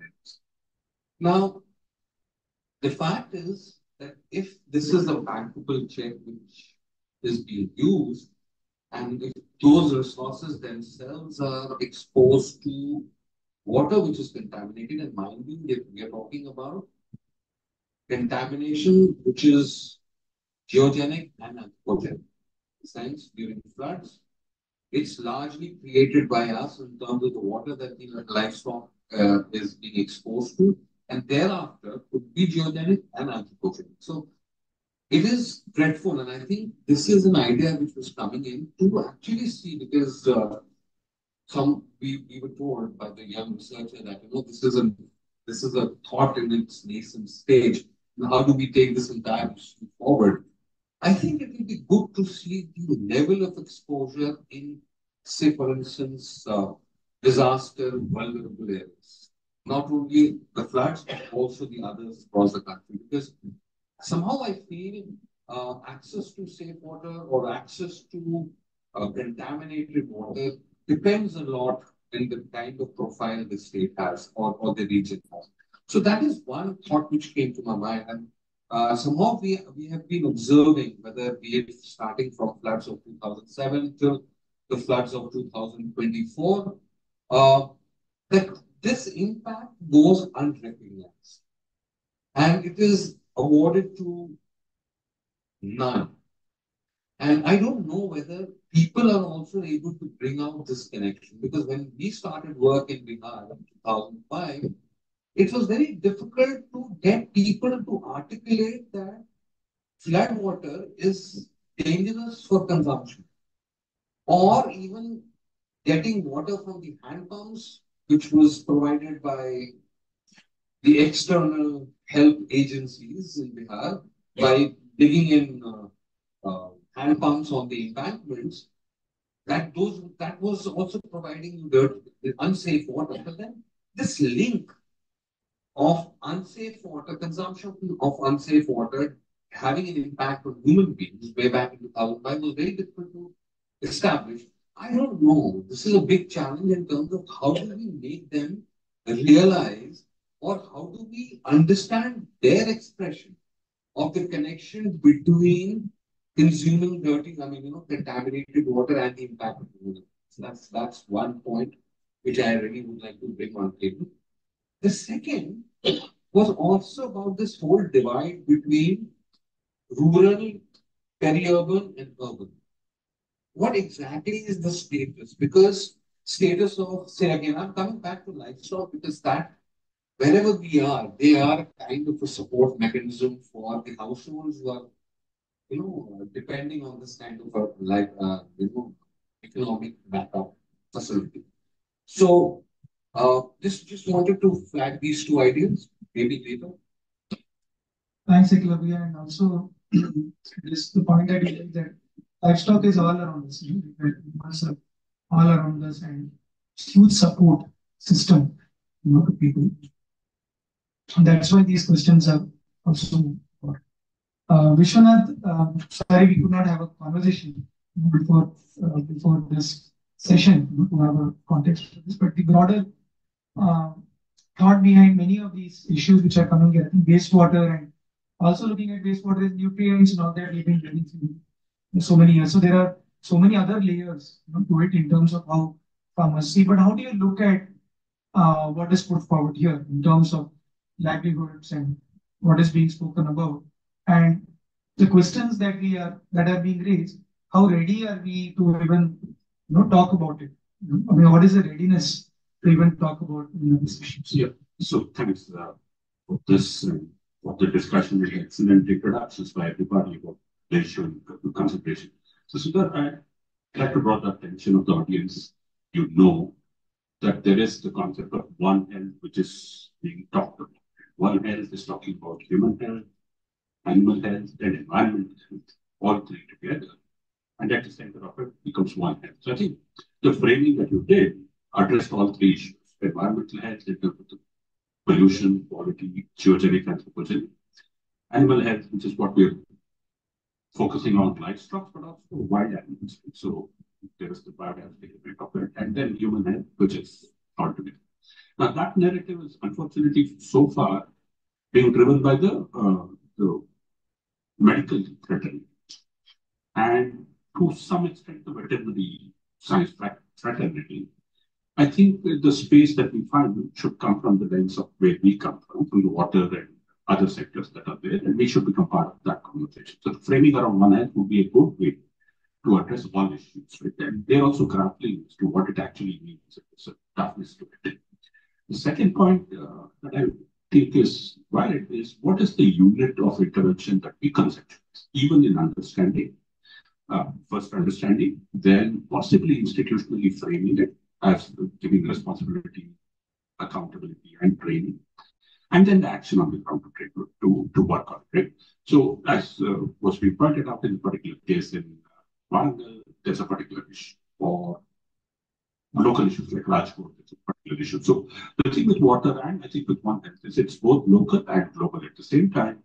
The actionable component of it is local to a large extent, but it has to be informed by global currents. If industrial pollution is coming from a city to a rural area, obviously the One Health will have to chart watersheds and cross watershed boundaries. So typologies, floodplains at a broader scale, but units of intervention at lower scale. And then the unit of intervention is also not necessarily, as we found with the watershed or water sector, uh, just the unit of hydrology or aquifer. It's also the unit of administration. So where do we think that uh, this conversation and this intervention would be the most strongest fit? I think that the Jal Jeevan Mission provides a good intervention point. What it says is 55 liters per capita per day minimum. Most states, at least my state, has what it as maximum under this activity for 55 liters. It is possible that many of the Jal Jeevan Mission schemes can start to become inclusive for livestock requirements. So a cow, for example, in my state requires a minimum of 60 liters per water. But a cow is the most remunerative component of the family's income, right? That's, and so water for the cow has a greater chance for it being paid to the Gram Panchayat water fees than just consumption at household. So Jal Jeevan Mission also is looking for putting a meter, and at some point in time, it imagines cost recoveries to come. And I think the, the discussion in Jal Jeevan Mission will occur later. But one of the big challenges of Jal Jeevan Mission is the financial sustainability of the scheme, apart from the environmental sustainability component of it. Right? So these are two challenges. I think in the framing of those challenges, I think we, we can do a lot of advocacy to push JJM to look at livestock. then, within that, uh, the third point that uh, I talk more from an intervention perspective is when we work in the villages of rural Karnataka, in semi-arid Karnataka, uh, tank rehabilitation, the, the mission Bhagirath that was mentioned in uh, Telangana and Andhra Pradesh also has a problem. The tanks being lakes which are being rehabilitated. And now there's a lot of discussion around how do we generate equity and access for the waters of the tank. Joy is a great proponent of, uh, one of the great proponents of it. Uh, what you do is that if a tank is rehabilitated, it only benefits those who own land. Uh, for the landless, it doesn't mean anything. But the intermediaries who own livestock, for example, sheep and goat, which is small ruminants which are generally owned by the Dalit community and the poorer communities, can have a stake in the tank if there's a dialogue in the rehabilitation which includes them right from the beginning. So therefore, you're making sure that water quality and grazing quality both can be included as part of the water regeneration and a aquifer regeneration. That's something that we can uh, think of. The other uh, point that Alka made was of the sanitation system she briefly touched upon it. I think we need to move towards a risk-based approach rather than a standards-based approach. Your presentation focused a lot on standards. And the standards can be a debatable issue. In the Indian context, we'll have to look at how we go up to reach those standards. So therefore, the ladder to the standards will start with the risk-based approach, which is the sanitation safety plan, and water safety plan for livestock, right? which we which we frame ourselves. And lastly, one of the critical attentions that we have to look for is in terms of the use of weedicides, fungicides, herbicides, pesticides, glyphosate on our land, and it increasingly being seen as being on fodder. So when Alka goes and I go to fields where wastewater is being used, you see packets of weedicides, herbicides, pesticides, and people are only obsessed about the quality of wastewater which is being applied, uh, applied whereas the other lot is legal and uncontrolled, right? So what is causing the harm, the lack of productivity of the rice paddy which is in your borewell water? Is it just the borewell water or is it a package of practices which is impacting on it? And what then is the impact of that package of practices? Weedicides, herbicides, flowing away and reaching the water bodies and then impacting fish, right? So wastewater for growing fish may be bad psychologically and from human resource. But is pesticide reaching the, uh, the water body pure? Not pure because it's invisible. And how does it impact uh, fish? And I think finally, the Indian way has to be found. The Indian way for me is that in terms of the development model that we have, the Kurzweil formula, formulation of things, where we are at a particular per capita income, different areas having different per capita incomes we need to find solutions which are appropriate to that investment potential of that community and the local economy. Right? So that is the framing that we do, perhaps in the, the boundaries of one. Thanks.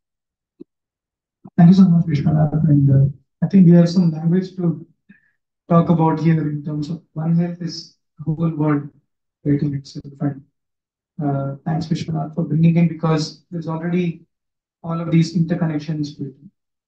Uh, secondly, as you're trying to say that it's so contextual and so rich locally that generalizations might sometimes end up hurting, right? So many different needs and stakes. Uh, very interesting points from all three of them, and I'm sure that there are more questions in your mind and more things to share. Um, I think we have 30 more minutes, right? So can we just move around and test this mic here and Nidhi gets. Yeah.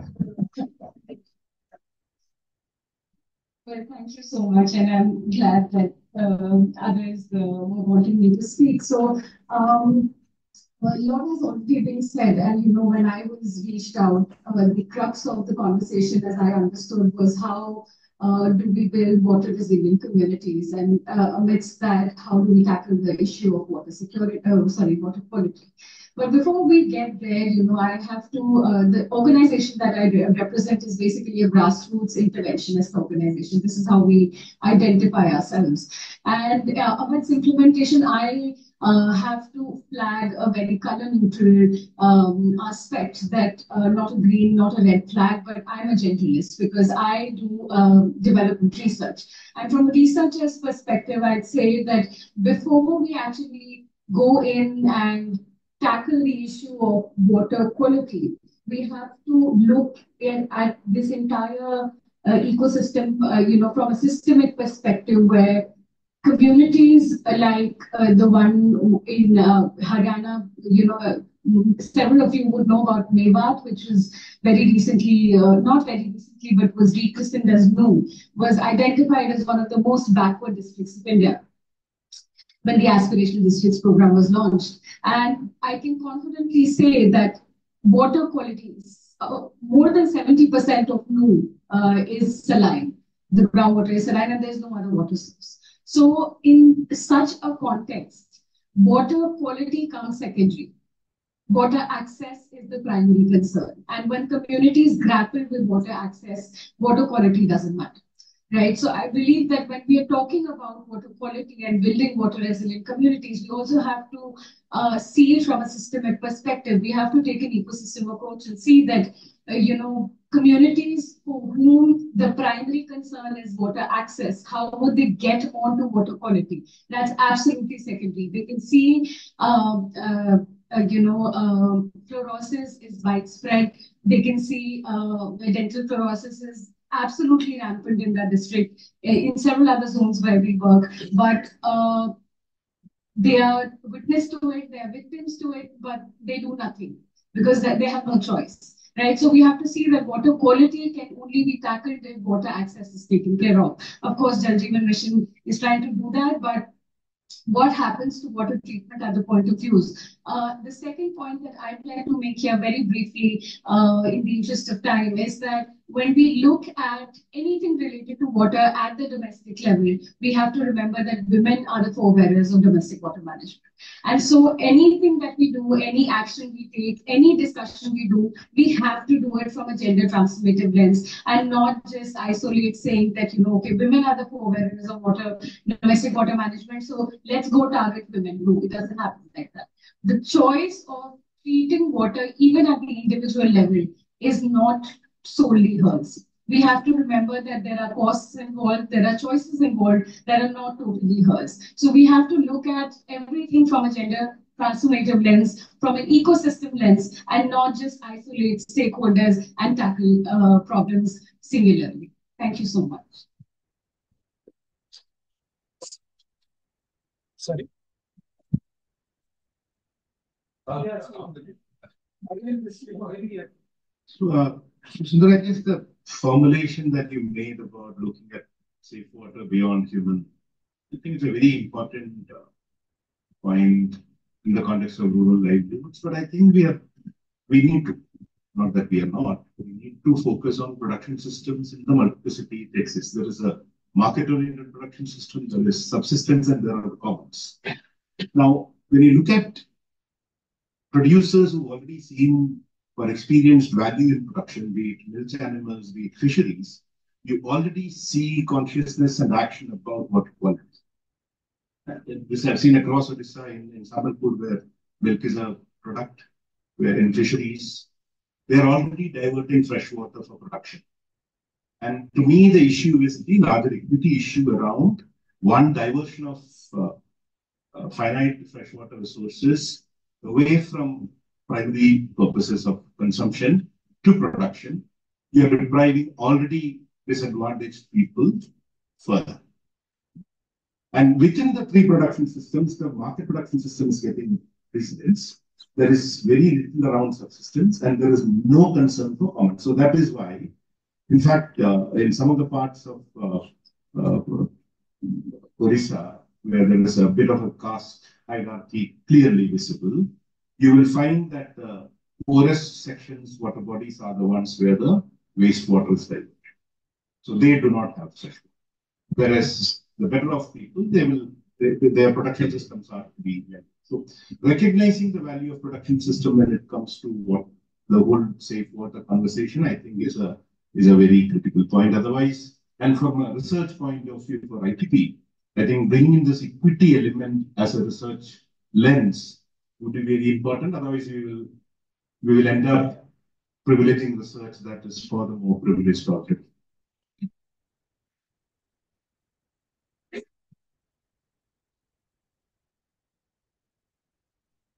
Just share a little bit.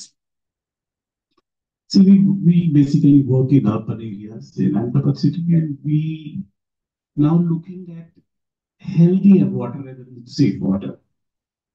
So we have changed the whole thinking pattern a little bit.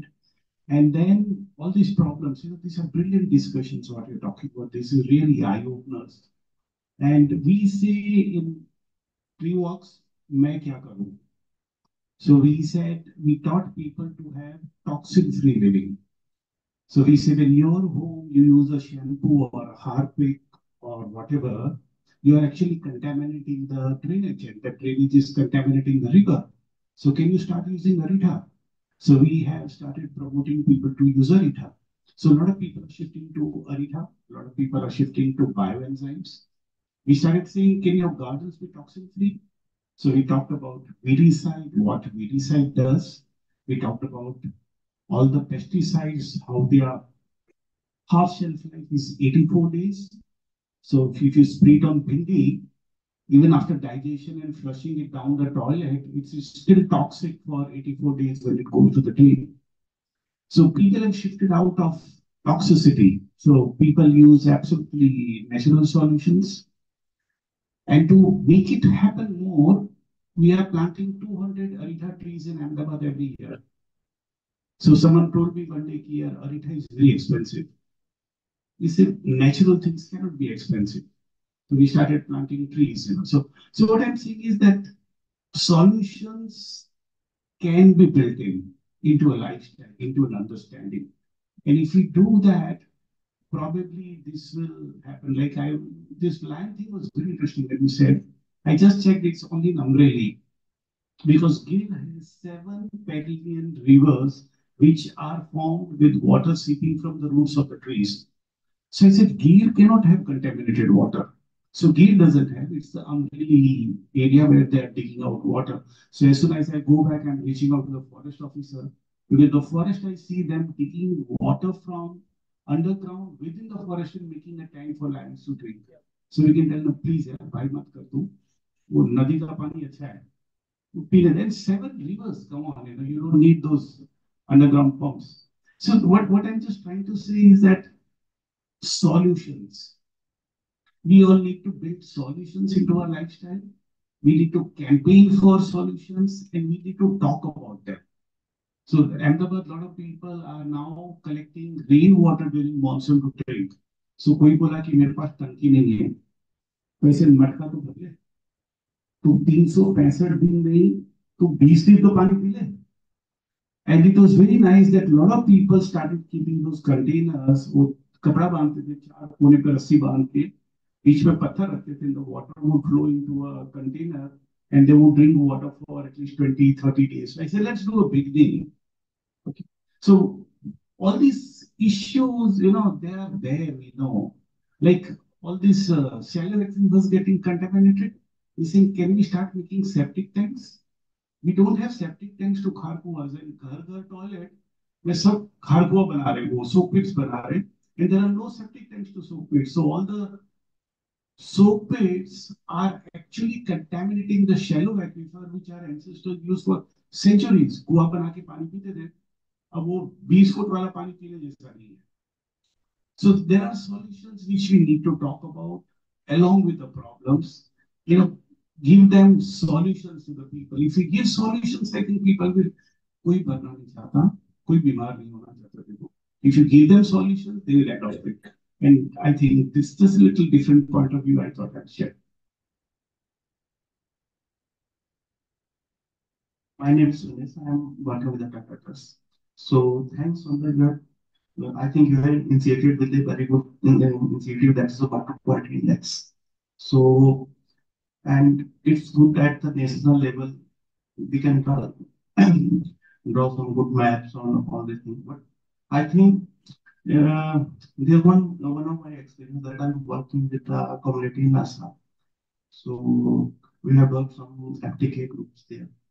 So लोगों ने पूछा कि इससे क्या होगा water quality में क्या होगा हमने कहा मंथली लेवल पे जाओ और कुछ कंटामिनेंट्स आई थिंक आयरन के लिए अच्छा है तो टीडीएस उसका ऊपर है उसके लिए अच्छा है तो उसको जो pathological bacteriological there some pathological contamination so I am unable to give that उस उस आदमी का मैं जवाब नहीं दे पाया कि ये उसने, उसका सवाल एक था इस इज़ पोर्टेबल ये पीने लायक है नहीं?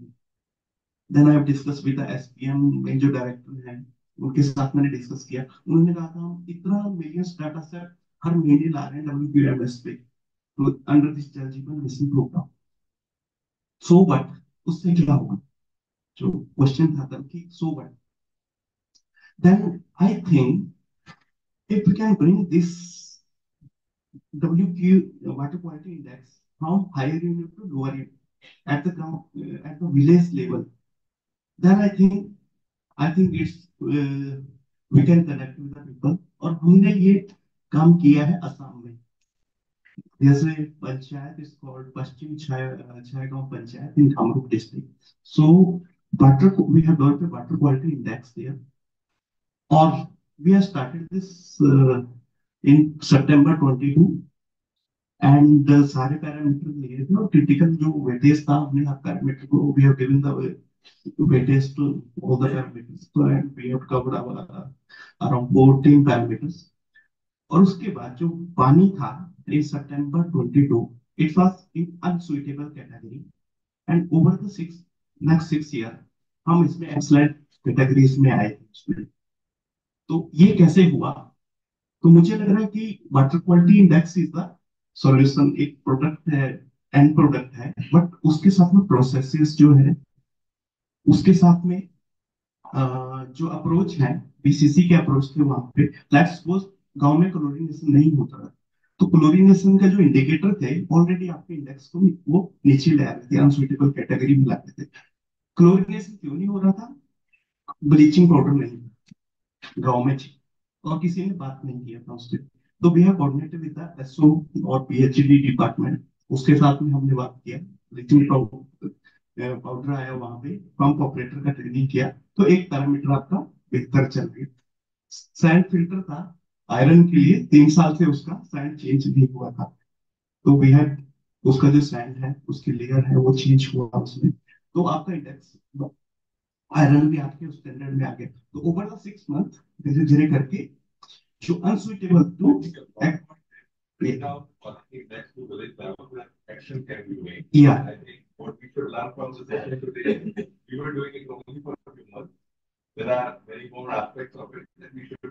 या Uh, But I think we can start at the village level or GP level. I think that, I think, yeah. Other viewers supposed to present. Okay, right. Thank you sir sir को presentation में मैं सिर्फ़ ये कहूँगा कि जितना भी ये स्टडी करने का प्रयास किया है और अ, हम लोगों ने चार अलग अलग स्टेट्स में जो काम हुआ है उसको मॉनिटर किया है और उनके जिन साथियों ने सर्वे किया है, उनके साथ पूरा बातचीत किया है। तो ओवरऑल ये निकल के आया है क्योंकि कई चीज़ें सभी के लिए नई थी और उन चीज़ों को जाके एसेस करना अपने आप में बहुत टफ टास्क है। इतना इजी नहीं है कि किसका कनेक्शन किसके साथ किस किस तरीके का है वाटर क्वालिटी का क्या एनिमल हस्बेंड्री के साथ कोई कनेक्शन है? शायद ये सोचना भी मुश्किल था। तो जो लोगों का रेस्पॉन्स है मैं जस्ट रेस्पॉन्स पे चारों टाइम बोलता हूँ कि अ, ये सुनने में भी आया है कि ऐसा भी होता है क्या? है ना? क्या ऐसा भी होता है? क्या पानी खराब होगा तो क्या भैंस के दूध का वेट भी कुछ चेंज होता है क्या? है ना? और जब स्टडीज़ हुआ है तो काफ़ी छोटी छोटी चीज़ों को ऑब्ज़र्व करने की कोशिश की है। जिसमें कि फेड शब्द है एस एन एफ़ एक शब्द है। तो अ, बड़ा एक अजीब सा चीज़ ये था कि एस एन एफ़ को सिर्फ़ वो ही लोग जानते हैं जो अपना दूध डेयरी सेंटर्स पर देते हैं। अदरवाइज़ तो एस एन एफ़ क्या है? शायद नहीं तो और फिर अ, क्या उसमें चेंजेस कैसे होते हैं? क्या पानी की क्वालिटी से कोई इफ़ेक्ट होता है? तो एक समराइज तो ये है कि कोई कनेक्शन नहीं बिठा। ठीक है? और मैं जस्ट सिचुएशन सबके सामने साथ शेयर करता हूँ कि वो क्या सिचुएशन थी। एमपी के एक विलेज में हम लोग बैठे हैं और पूरा इंडस्ट्रियल बेल्ट है। वहाँ जो इंडस्ट्रीज़ हैं वो लगभग चालीस साल से पहले से हैं। जिस जगह पर है, मैं ये सिचुएशन यहाँ क्यों शेयर कर रहा हूँ? क्योंकि उसमें तीनों ही चीज़ें कवर हो रही है। एनिमल हस्बेंड्री भी हो रहा है एग्रीकल्चर पैटर्न भी हो रहा है फिशरीज का भी एक पार्ट है। और गवर्नमेंट का नज़र भी है। वहाँ स्टार्टिंग में फिशरीज से करता हूँ कि जो एक पॉन्ड है वो एक सिंगल पॉन्ड है और उसमें फाइव टू सिक्स मंथ उस पॉन्ड में पानी रहता है। इंडस्ट्रियल वेस्ट का पूरा ड्रेनेज आ रहा है वो उस पॉन्ड में मिलता है। ये सब होने के बाद भी गवर्नमेंट उस पॉन्ड के लिए फिशरीज का टेंडर करता है। जो गवर्नमेंट टेंडर्स होते हैं वो फिशरीज का टेंडर करता है। टेंडर के बाद जो इफ़ेक्ट लोगों ने बताया है, वो कह रहे हैं कि वो अचानक से कुछ होता है, किस टाइम पे किस तरीके का कंटेमिनेटेड पानी उसके अंदर जो मिला है सडनली मछली रातों रात खत्म हो गई सेकेंड चीज़ ये हुआ कि जब एक और जो अच्छी चीज़ जो निकल के आया वो था कि लोकल जिस विलेज में हो रहा है, उस विलेज के लोगों ने टेंडर नहीं लिया है आउट ऑफ़ विलेज के लोगों ने टेंडर लिया है। ये चीज़ें कैसे कोरिलेट करती हैं, वो चीज़ों को समझने की जब बाहर से हुआ है और उसका जो इफ़ेक्ट हुआ है, वो केवल डाई ही एक इफ़ेक्ट नहीं है सेकेंडली उसका टेस्ट जो लोगों ने शेयर किया है, उसमें ये भी निकला है कि टेस्ट इतना खराब है कि नियरेस्ट मार्केट में रेगुलर सेलिंग भी नहीं हो रहा है तो शायद वो लाइवलीहुड को सीधा सीधा कनेक्ट कर रहा है। ये फिशरीज पे होगा और एनिमल हस्बेंड्री पे भी ये चीज़ कर रहा है कि एनिमल हस्बेंड्री में जो जो सवाल है, उसमें जो जनरेशन गैप के बीच में एनिमल हस्बेंड्री को समझने की कोशिश करते हैं तो एक सिंपल सा सवाल कि एक एवरेज एज क्या होता है बफेलो का या गाय का? शायद ये सवालों का जवाब लेने के लिए हमको 50 प्लस जो रेस्पोंडेंट हैं एज जिसका एज 50 प्लस है वो ऐसे लोगों के साथ बात करना था तो कुछ सुनने को मिला कि वास्तव में बफेलो या काऊ का कोई एवरेज एज भी होता है। तो कितना अ, जो अवेयरनेस और ये सब चीज़ें बोलेंगे बहुत छोटे वर्ड हैं शायद, क्योंकि बहुत डीप में जाके ये सब की ज़रूरत है। लास्ट जो चीज़ करी है कि हम लोग कम्युनिटी में अवेयरनेस और ये सब चीज़ें के लिए जब बात कर रहे हैं तो ये सिचुएशन लकीली जिस दिन हम लोग जिस गाँव में थे, वहीं पर ये सुनने को आया। इंडस्ट्री की वजह से जो वेस्ट हो रहा है पूरा पॉइंट्स के साथ डिटेन हो रहा है। लोग इतने अवेयर हैं कि सीधा एडमिनिस्ट्रेशन के पास गए हैं एसडीएम के पास गए हैं, बड़ा सा एक मीटिंग हो रहा है। लेकिन ये सब होने के बाद भी कहीं से कोई भी पॉजिटिव सपोर्ट नहीं है।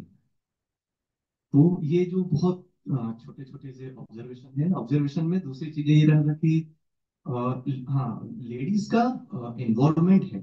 मैं एग्रीकल्चर के पॉइंट से बोल रहा हूँ कि लोगों का महिलाओं का बहुत बड़ा कंट्रीब्यूशन है एग्रीकल्चर फ़ील्ड में। वो सब कुछ काम करते हैं, लेकिन जब उनसे इस तरीके से पूछा गया कि आपका लैंड कितना है तो शायद आंसर नहीं है। है?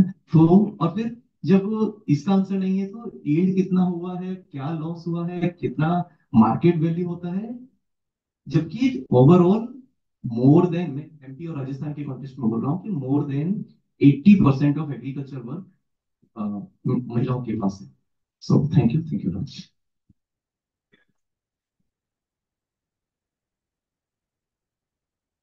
So, hello everyone. Uh, I'm Ankita Yadav from WOTR. Uh, मैं सिर्फ मेरा एक एक्सपीरियंस शेयर करना चाहती हूँ कि we have been working on farm ponds in Maharashtra I come from Maharashtra and so the farm ponds are something that it's a mitigation, mitigation measure that is pushed through state government and you know, even the central government largely.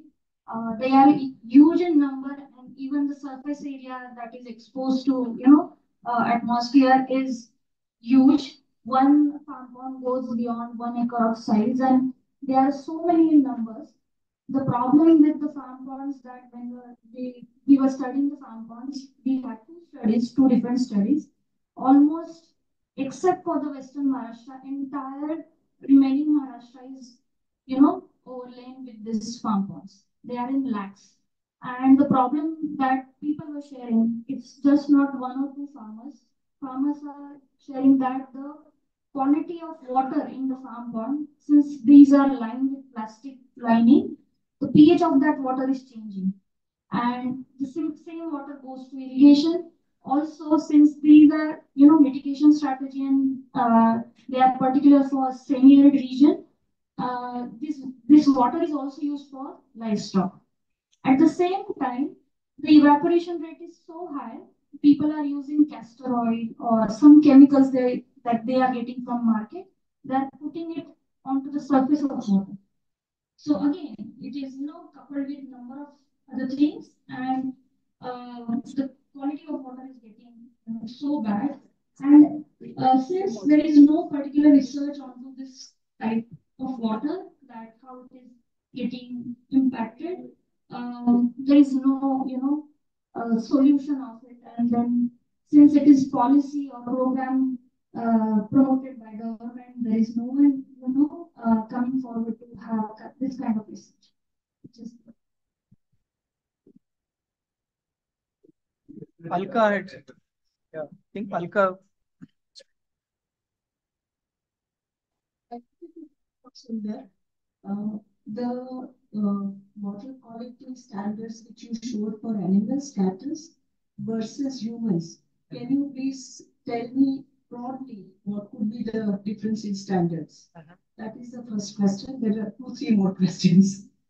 Uh, second question is about industrial pollution. And uh, so basically, uh, when industrial contaminants are uh, polluting groundwater, have you, like, when in your survey, have you seen pockets where the impact is different as compared to domestic pollution on cattle?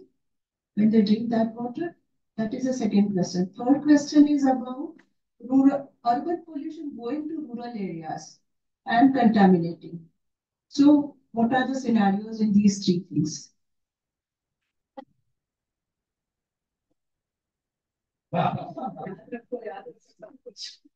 Yeah, the first one, this animal water quality, right? So there doesn't seem to be a consensus on that. I think people are, different countries are following different standard. It is, I think, uh, um, I mean, there is some kind of a to and fro between it. Uh, but roughly, I think for most of these parameters, I think I remember seeing it as twice or thrice the threshold for most of them. Um, as I remember, uh, broadly. Know, the limits, like if it is 1 ppm, then it is 2.5. It's uh, something like that. Yeah. That's kind of makes a assumption on a, almost a message that they are less sensitive. Exactly, but it also depends on the size of the animal and which animal and all of that, right? Uh, because also the human standards are all made for 50 kilogram healthy adult. Right? Even the human standards are made for 50. So if it's a 10 kg child, you are sometimes five times more exposed to it. Um, secondly, uh, I think industrial contaminants very broadly, because I think the examples that we spoke about, uh, pharmaceutical industry and uh, dyeing industry. Um, so you can see it in front. The, I think the broader thing we are seeing is that these industries and smaller industries are moving more rural because of power availability, water availability. Uh, so you're seeing more of these smaller industries now also within villages. So they are generating waste locally. So it's not just domestic waste. Example that I gave. The example that she gave, and some zones, for example, if you take coastal Gujarat, so coastal Gujarat, there has been a conscious plan you know, to have industries. So there are also certain areas where rural, you will not see it anywhere, but then suddenly it will be inside the village. So I, I maybe I'm not fully right, but industrial contamination, you could see the effects even more, you know, clearly. Um, what sorry, what, what was it? Urban. So yeah, I mean all of so all of all of the all of the things that we saw are all quite rural. I mean they are not even close to urban. So these are all. Uh, so I you know none of these except for I mean it's a totally different story with Bangalore and Chikballapur. Right? I mean it's extraordinarily treated water which is going into Chikballapur. So it's one of the places where study happened. Otherwise, yeah, Nalgonda, this is like a entire pharma hub of um, of, of Hyderabad. It's concentrated pharma hub directly going from there into farmers are accepting it because that is only water that you have. So this is in Nalgonda. Yes, Nancy.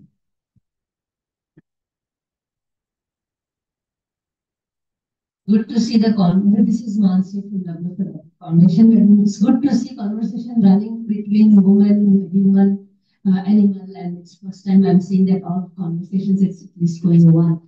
My question is to uh, both Nafisa and Eklavya, and I'm taking the point from where you left and uh, taking the gender aspect again, and particularly women, because we are not still talking about men in water. We are still keep talking about women in water. And most of the disasters are man-made disasters, but no offense to any men. Uh, but um, uh, for so many years, this has talk has been going on that there needs to be more attention on women. And then when I'm linking it with what uh, was saying, when we have uh, all kinds of disasters for that matter, because I've started a new project, uh, women are anyway disproportionately affected. But then, uh, if you put the layer of disaster, whether it is water pollution, flood, or any kind of contamination, uh, the, the, the extra burden also gets into the woman. So I just want to understand from all of you, because you have been working on field for so many years, what is it stopping uh, or where is the wall that we are unable to really get across and make the point heard in the policy and practice? So many of you are working for so many years. Why, why are we not able to uh, bring it? Uh, I mean, I think the problem is more than patriarchy also. Even in this group, in last next in three days, there's no session on women. Yes, please, Aida, thank you. Uh, yeah, uh, I mean, Mansi, the way uh, we look at it, I'm sure that many of us here, we look at an issue in a more integrated way, right? It is never just one aspect. If I'm talking about, or women are saying that this pollution, it's not just women who are saying, um, men are also saying that yes, there is this pollution. But the way women behave and men behave are different. Who goes to negotiate with the uh, companies, you know, in terms of kya nahi karenge, all that? Men go. They don't allow women to go. Of course, where we have very strong women groups and, you know, women leadership, they go and kind of negotiate. But then, pichle door say, who takes the money and, uh, you know, break the movement? Mostly it's men. I mean, so that is one other. So there are these social processes and issues which are also linked to political. I mean, there are political issues because who gives permission to these factories and who kind of, uh, uh, you know, pulls uh, wool over their eye in terms of seeing that so much pollution by contamination by the factories and the, I mean, all the kind of corporates, which is going uh, in the water bodies. And uh, we have what I mean uh, a board. I mean have a pollution a pollution board. And you talk to those people, and they say that okay, you want us to write a report. Our report will go out of the window, and we will also go out of the window. So this huge. What I'm trying to frame is because you're asking why we can't do something about it. I mean, is there a policy? Is there not a policy? I'm sure there's a policy. There is a policy that you cannot, uh, uh, you know, these people cannot pollute water or water bodies, and there are uh, stricter, uh, you know, penalties and this and that. They will come. They just go over it. So that so it is a huge political problem. The way I look at it, I'm talking about Gujarat. I'm sure other places also. But it is uh, it is a milibagat. I mean, it is a combination of social processes uh, you know, and, and the political processes. So, you know, things that uh, what Gary was talking about, that, you know, there are these disasters like droughts and floods and all that. And those communities who live there, I mean, I'm talking about both women and men, you know, they know what are possible alternatives and of course with better solutions. I mean, they, they're ready to accept and adapt and all that. But things which is which is beyond them. I mean, how do you prevent a huge water body, uh, you know, uh, how do you protect that water body from uh, getting this kind of pollution because they go and dump it at night. And it's a it's a huge because there's a lot of Goondaism, you know, into that whole thing. It's, a lot of muscle power. So so the thing is the answers are suppose if we say you uh, the ministers are there, departments are there, policy is there, and why it's not being implemented. It's not that people have not given complaints and women have not gone and all that, but the kind of pressure which has to really come on the policy maker. Today, you know, it's very recently I was uh, like even in Ahmedabad University, I showed that slide. It is said 100% Jal Mission, 100% for uh, families are uh, connected with water. I mean, we we know what how, how much truth is in that. You know, either that uh, you know the, the the pipe is there in the in the house, and then nothing is it's not connected with any water supply. All the water goes. I mean, there was a report by UNICEF in in Gujarat. Thirty-three percent water was. Um, uh, you know, of uh, not, not drinkable. I mean, from this pipeline, right? So, which means that there is a denial that no, there, there is no issue, there's no problem. And when people, so I'm just trying to uh, kind of, uh, you know, answer your question that the kind of pressure to me, the pressure which has to go on government is not enough. That's why I said, how does this fraternity? So we sometimes I feel कि okay हम researchers हैं, हाँ हम research करके हम अपने पन्ने छापे ये किया वो का you publish it and you say, okay, this is what this is how bad it is. Nothing. I mean, what is the where is the power coming? For, you know, from these I'm, not just saying this, but that different communities to exert pressure on government. And because there, there is a thing, I mean, this is the same area where there was a huge, huge movement against Nirma and nuclear plants, right? I mean, because people wanted to protect their, uh, you know, and these are uh, women's groups and they just got together and they did it. They could do it in 2013. They could do it in 2008, 9, 10, you know, all the protests and all this. Now, it's not possible. So I'm, without saying much, I'm saying a lot. Uh, just, uh, just to add, because uh, there was a discussion here that women are doing a lot of things on the ground. that is where Eklavya, you may just add the nuance that somewhere they are reluctant in those, uh, uh, you know, uh, numbers and taking empowered, empowering themselves in knowing how much pollution, how much land they have, how much yield they have does that keep them back? And because I, I'm, I'm really realizing it now in Manipur and uh, Kalimpong, where we just started, we just started the project, that woman actually knows a lot. It's just that their words don't get into the papers. Over to you. Uh, since 2005, what I have observed uh, while working in Bihar is the evolution of politics filters. Okay there has been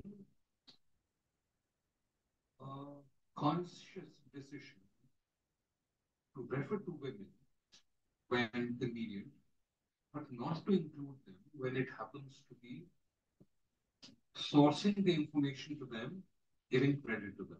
Now, I'm, I'm talking slightly abstract. Let me give an example. when Pyne Abhiyan started work, we used to consider floods as a uniform entity in the entire North Bihar. We failed. We resurrected and we tried to understand why did we fail and then we realized that in Bihar and North Bihar there are no uniform floods, there are typologies of floods. How did we get to know what the typology the majority of one particular gender staying in the village and experiencing hmm. floods, whether it's pre, during, post, happens to be women. Now, if we are hesitant enough to spend time with patients to get information from them, and we would like to have a quick fix kind of an input coming from a person who has had an experience of floods about five years back, but is still a villager compared to that of a woman who has been there for a, who has been surviving in that scenario in different times. So that is one filter that is being used. For our, we do not have the patience to go through and to wait. I'll, I'll give you another example.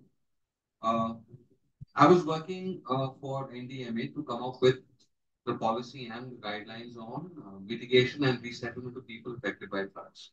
As for uh, affected by river erosion and coastal erosion. And NDMA's diktat was that we are going to bring this entire policy bottoms up and we de develop a whole system of doing it, in which household interview was the main, was the, I would say, the mainstay of the entire work. And household interview was largely with women. So the agencies that were trying to, you know, uh, execute this were hesitant because of the fact that information wouldn't have come. We were we are doing the eighth typology of floods in Bihar, and we were doing the same of going down to the household level to get information, and women did, were able to give almost about half an hour max in a day to answer your questions. So in the entire scenario, what is happening is it's all about filters and convenience. Where do you get information? How, how do you manage things? I mean, why is it so that despite women being the main, uh, you know, um, group who have experienced floods in different forms, are still not being considered when we are talking about, say, sanitation, when we are talking about uh, drinking water, why aren't they being brought into the forefront? Forget about those groups or those membership, I mean, you know, committees and all. That's not the point. And I'm talking very specific to these disaster flood prone areas where you don't see much happening.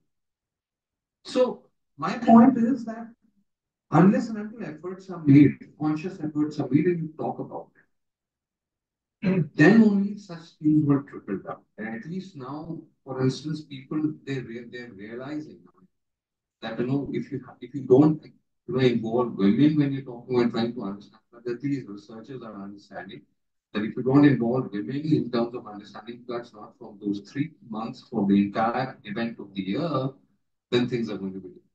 But still, there's a long way to go. I mean, still there a long way because we have a lot of filters with it. So. Thank you, Akbar. And with that, can I request, we have already gone like three minutes into it, and I have to organize a item that will be late for lunch as well as for the next. Let's stop on question. We have a lot of conversations and your lot of thought has been, uh, I would say, ignited here. First of all, thank you to Amy and Linda for picking up this a session. Then thanks to all our esteemed panelists as well as everyone who presented and who may not have gotten a chance to present fully kind of it. My apologies. Uh, what I'm going to do now in the next two minutes is quickly uh, sort of pick up some of the points that were made today. Uh, not necessarily saying the order reflects any kind of uh, the uh, value judgment on the quality or the contribution of any of this.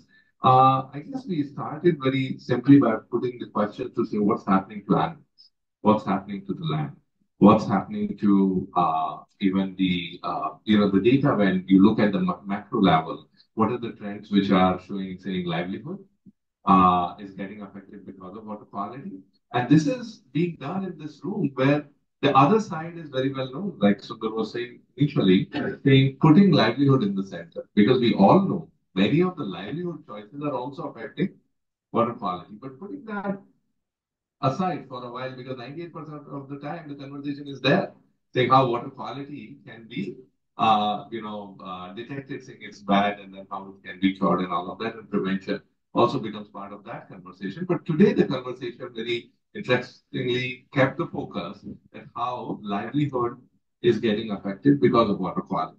Now, some of the things, um, I would actually like to emphasize what Nafisa Ben started with. The point is communities have done all that they can. I think I'll try and bring two or three of these examples together in one single sentence. I think what we are struggling with is how do we get state to account to people, right? How do we get pollution control board to actually deliver? And this is not necessarily one place or two places. And yes, there is politics to it. Yes, there is a, social dimension to it. Yes, there is a, a spatial gender uh, issue here. But again, one of the things that we keep reminding ourselves, the contexts are very different. Like I think Ankita also spoke. Uh, sometimes generalization lead to saying something that has been successful in Karnataka. Let's make that same thing happen in Maharashtra you don't realize evapotranspiration is higher, temperatures are higher, and your farm ponds are not going to bring you the same result. Uh, the second point I want to bring from is where Alka started by saying, at least in her data set, uh, at least 40% uh, was the water that was going untreated and 60% was the water that was getting some degree of treatment. Uh, a couple of years back, I was witnessing, uh, with like one of the audiences on uh, Namami Gange initial mapping presentation. Uh, is the other way around. So at least 60% is untreated. So, no, no, no, only Ahmedabad data I'm talking about. Yeah, I picked up because otherwise the numbers were difficult for me to quickly do it. So Ahmedabad data, what she presented, seemed to suggest that 40% untreated, 60% treated. Uh, Namami Gange initial mapping, what I remember is uh, it was showing that the capacity itself was only the one third of what was being generated. And then of which only about 40% was functional. So you were down to like 12%, 15% really being treated in any meaningful manner. But I don't know from there where have we come today. So it would be wrong to carry any of these data again. And this is the to the point of generalization, right? Uh, but uh, the other piece, which I think Vishwanath has brought in, and in fact, two points I'm picking up from Vishwanath. The one is the broader schema of one, because we are all talking about the interconnections. uh, and interconnection of water quality to livelihood, livelihood to the other aspects of, you know, even the collective life and all the way to democratic accountability that we ended up talking about, right? But the second point, which was made by Vishwanath, was about the risk-based approach versus a standard-based approach. Because I think even the example that Nidhi gave, that access over quality is a very clear risk-based approach. They may not have that vocabulary, they may not be using that, but they're applying something, right? And similarly, again, this kind of goes back to the previous point of making it contextual. Uh, this debate has gotten started, this conversation has gotten started is a very happy, uh, I would say, moment, and uh, this has triggered many thoughts. At the same time, because we are all water professionals, I mean, people who are with water livelihood uh, practices, we also need to sort of keep reminding ourselves none of this is going to be a uh, magic wand. Lastly, I think uh, to me, uh, even the example that came from Arvind and Libby, what you spoke of, saying there is a not only gender, there is a color dimension to the problem, right? Uh, so there's this whole equity issue, and is the research actually being directed? The very fact saying we're talking of cattle now, and Krishna, you are hopeful saying we can get JJM to account for at least the livestock water requirement, right? Uh, I mean, I would say my position at the moment, at least my gut says saying that's going to be difficult because even in the current scheme delivering 55 LPCD, I think that itself is uh, going to be a challenge. But you might get it in policy. Uh, I don't know where all you'll be able to deliver. So that's one uh, sort of apprehension or reservation I have. But I just wanted to, you seem to be wanting to respond to that. Good after that. Yeah. Okay. So, and the lastly, again, uh, I guess,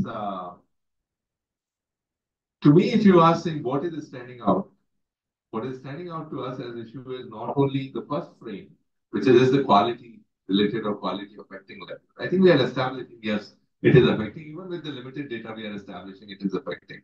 But do we need more evidence? Do we need more research? Obviously, we need more research. But at least the pain point that I would like to underline that I am hearing uh, as civil society, while we are good at finding out these problems, doing some small scale solution, are we getting the state to account to civil society or to people in any large scalable manner? I think that's a bigger question that's being raised. Uh, it's not a one day thing. It's not a one session thing. Thank you for all of your participation. I hope I did not take more than six minutes. Thank you, everyone.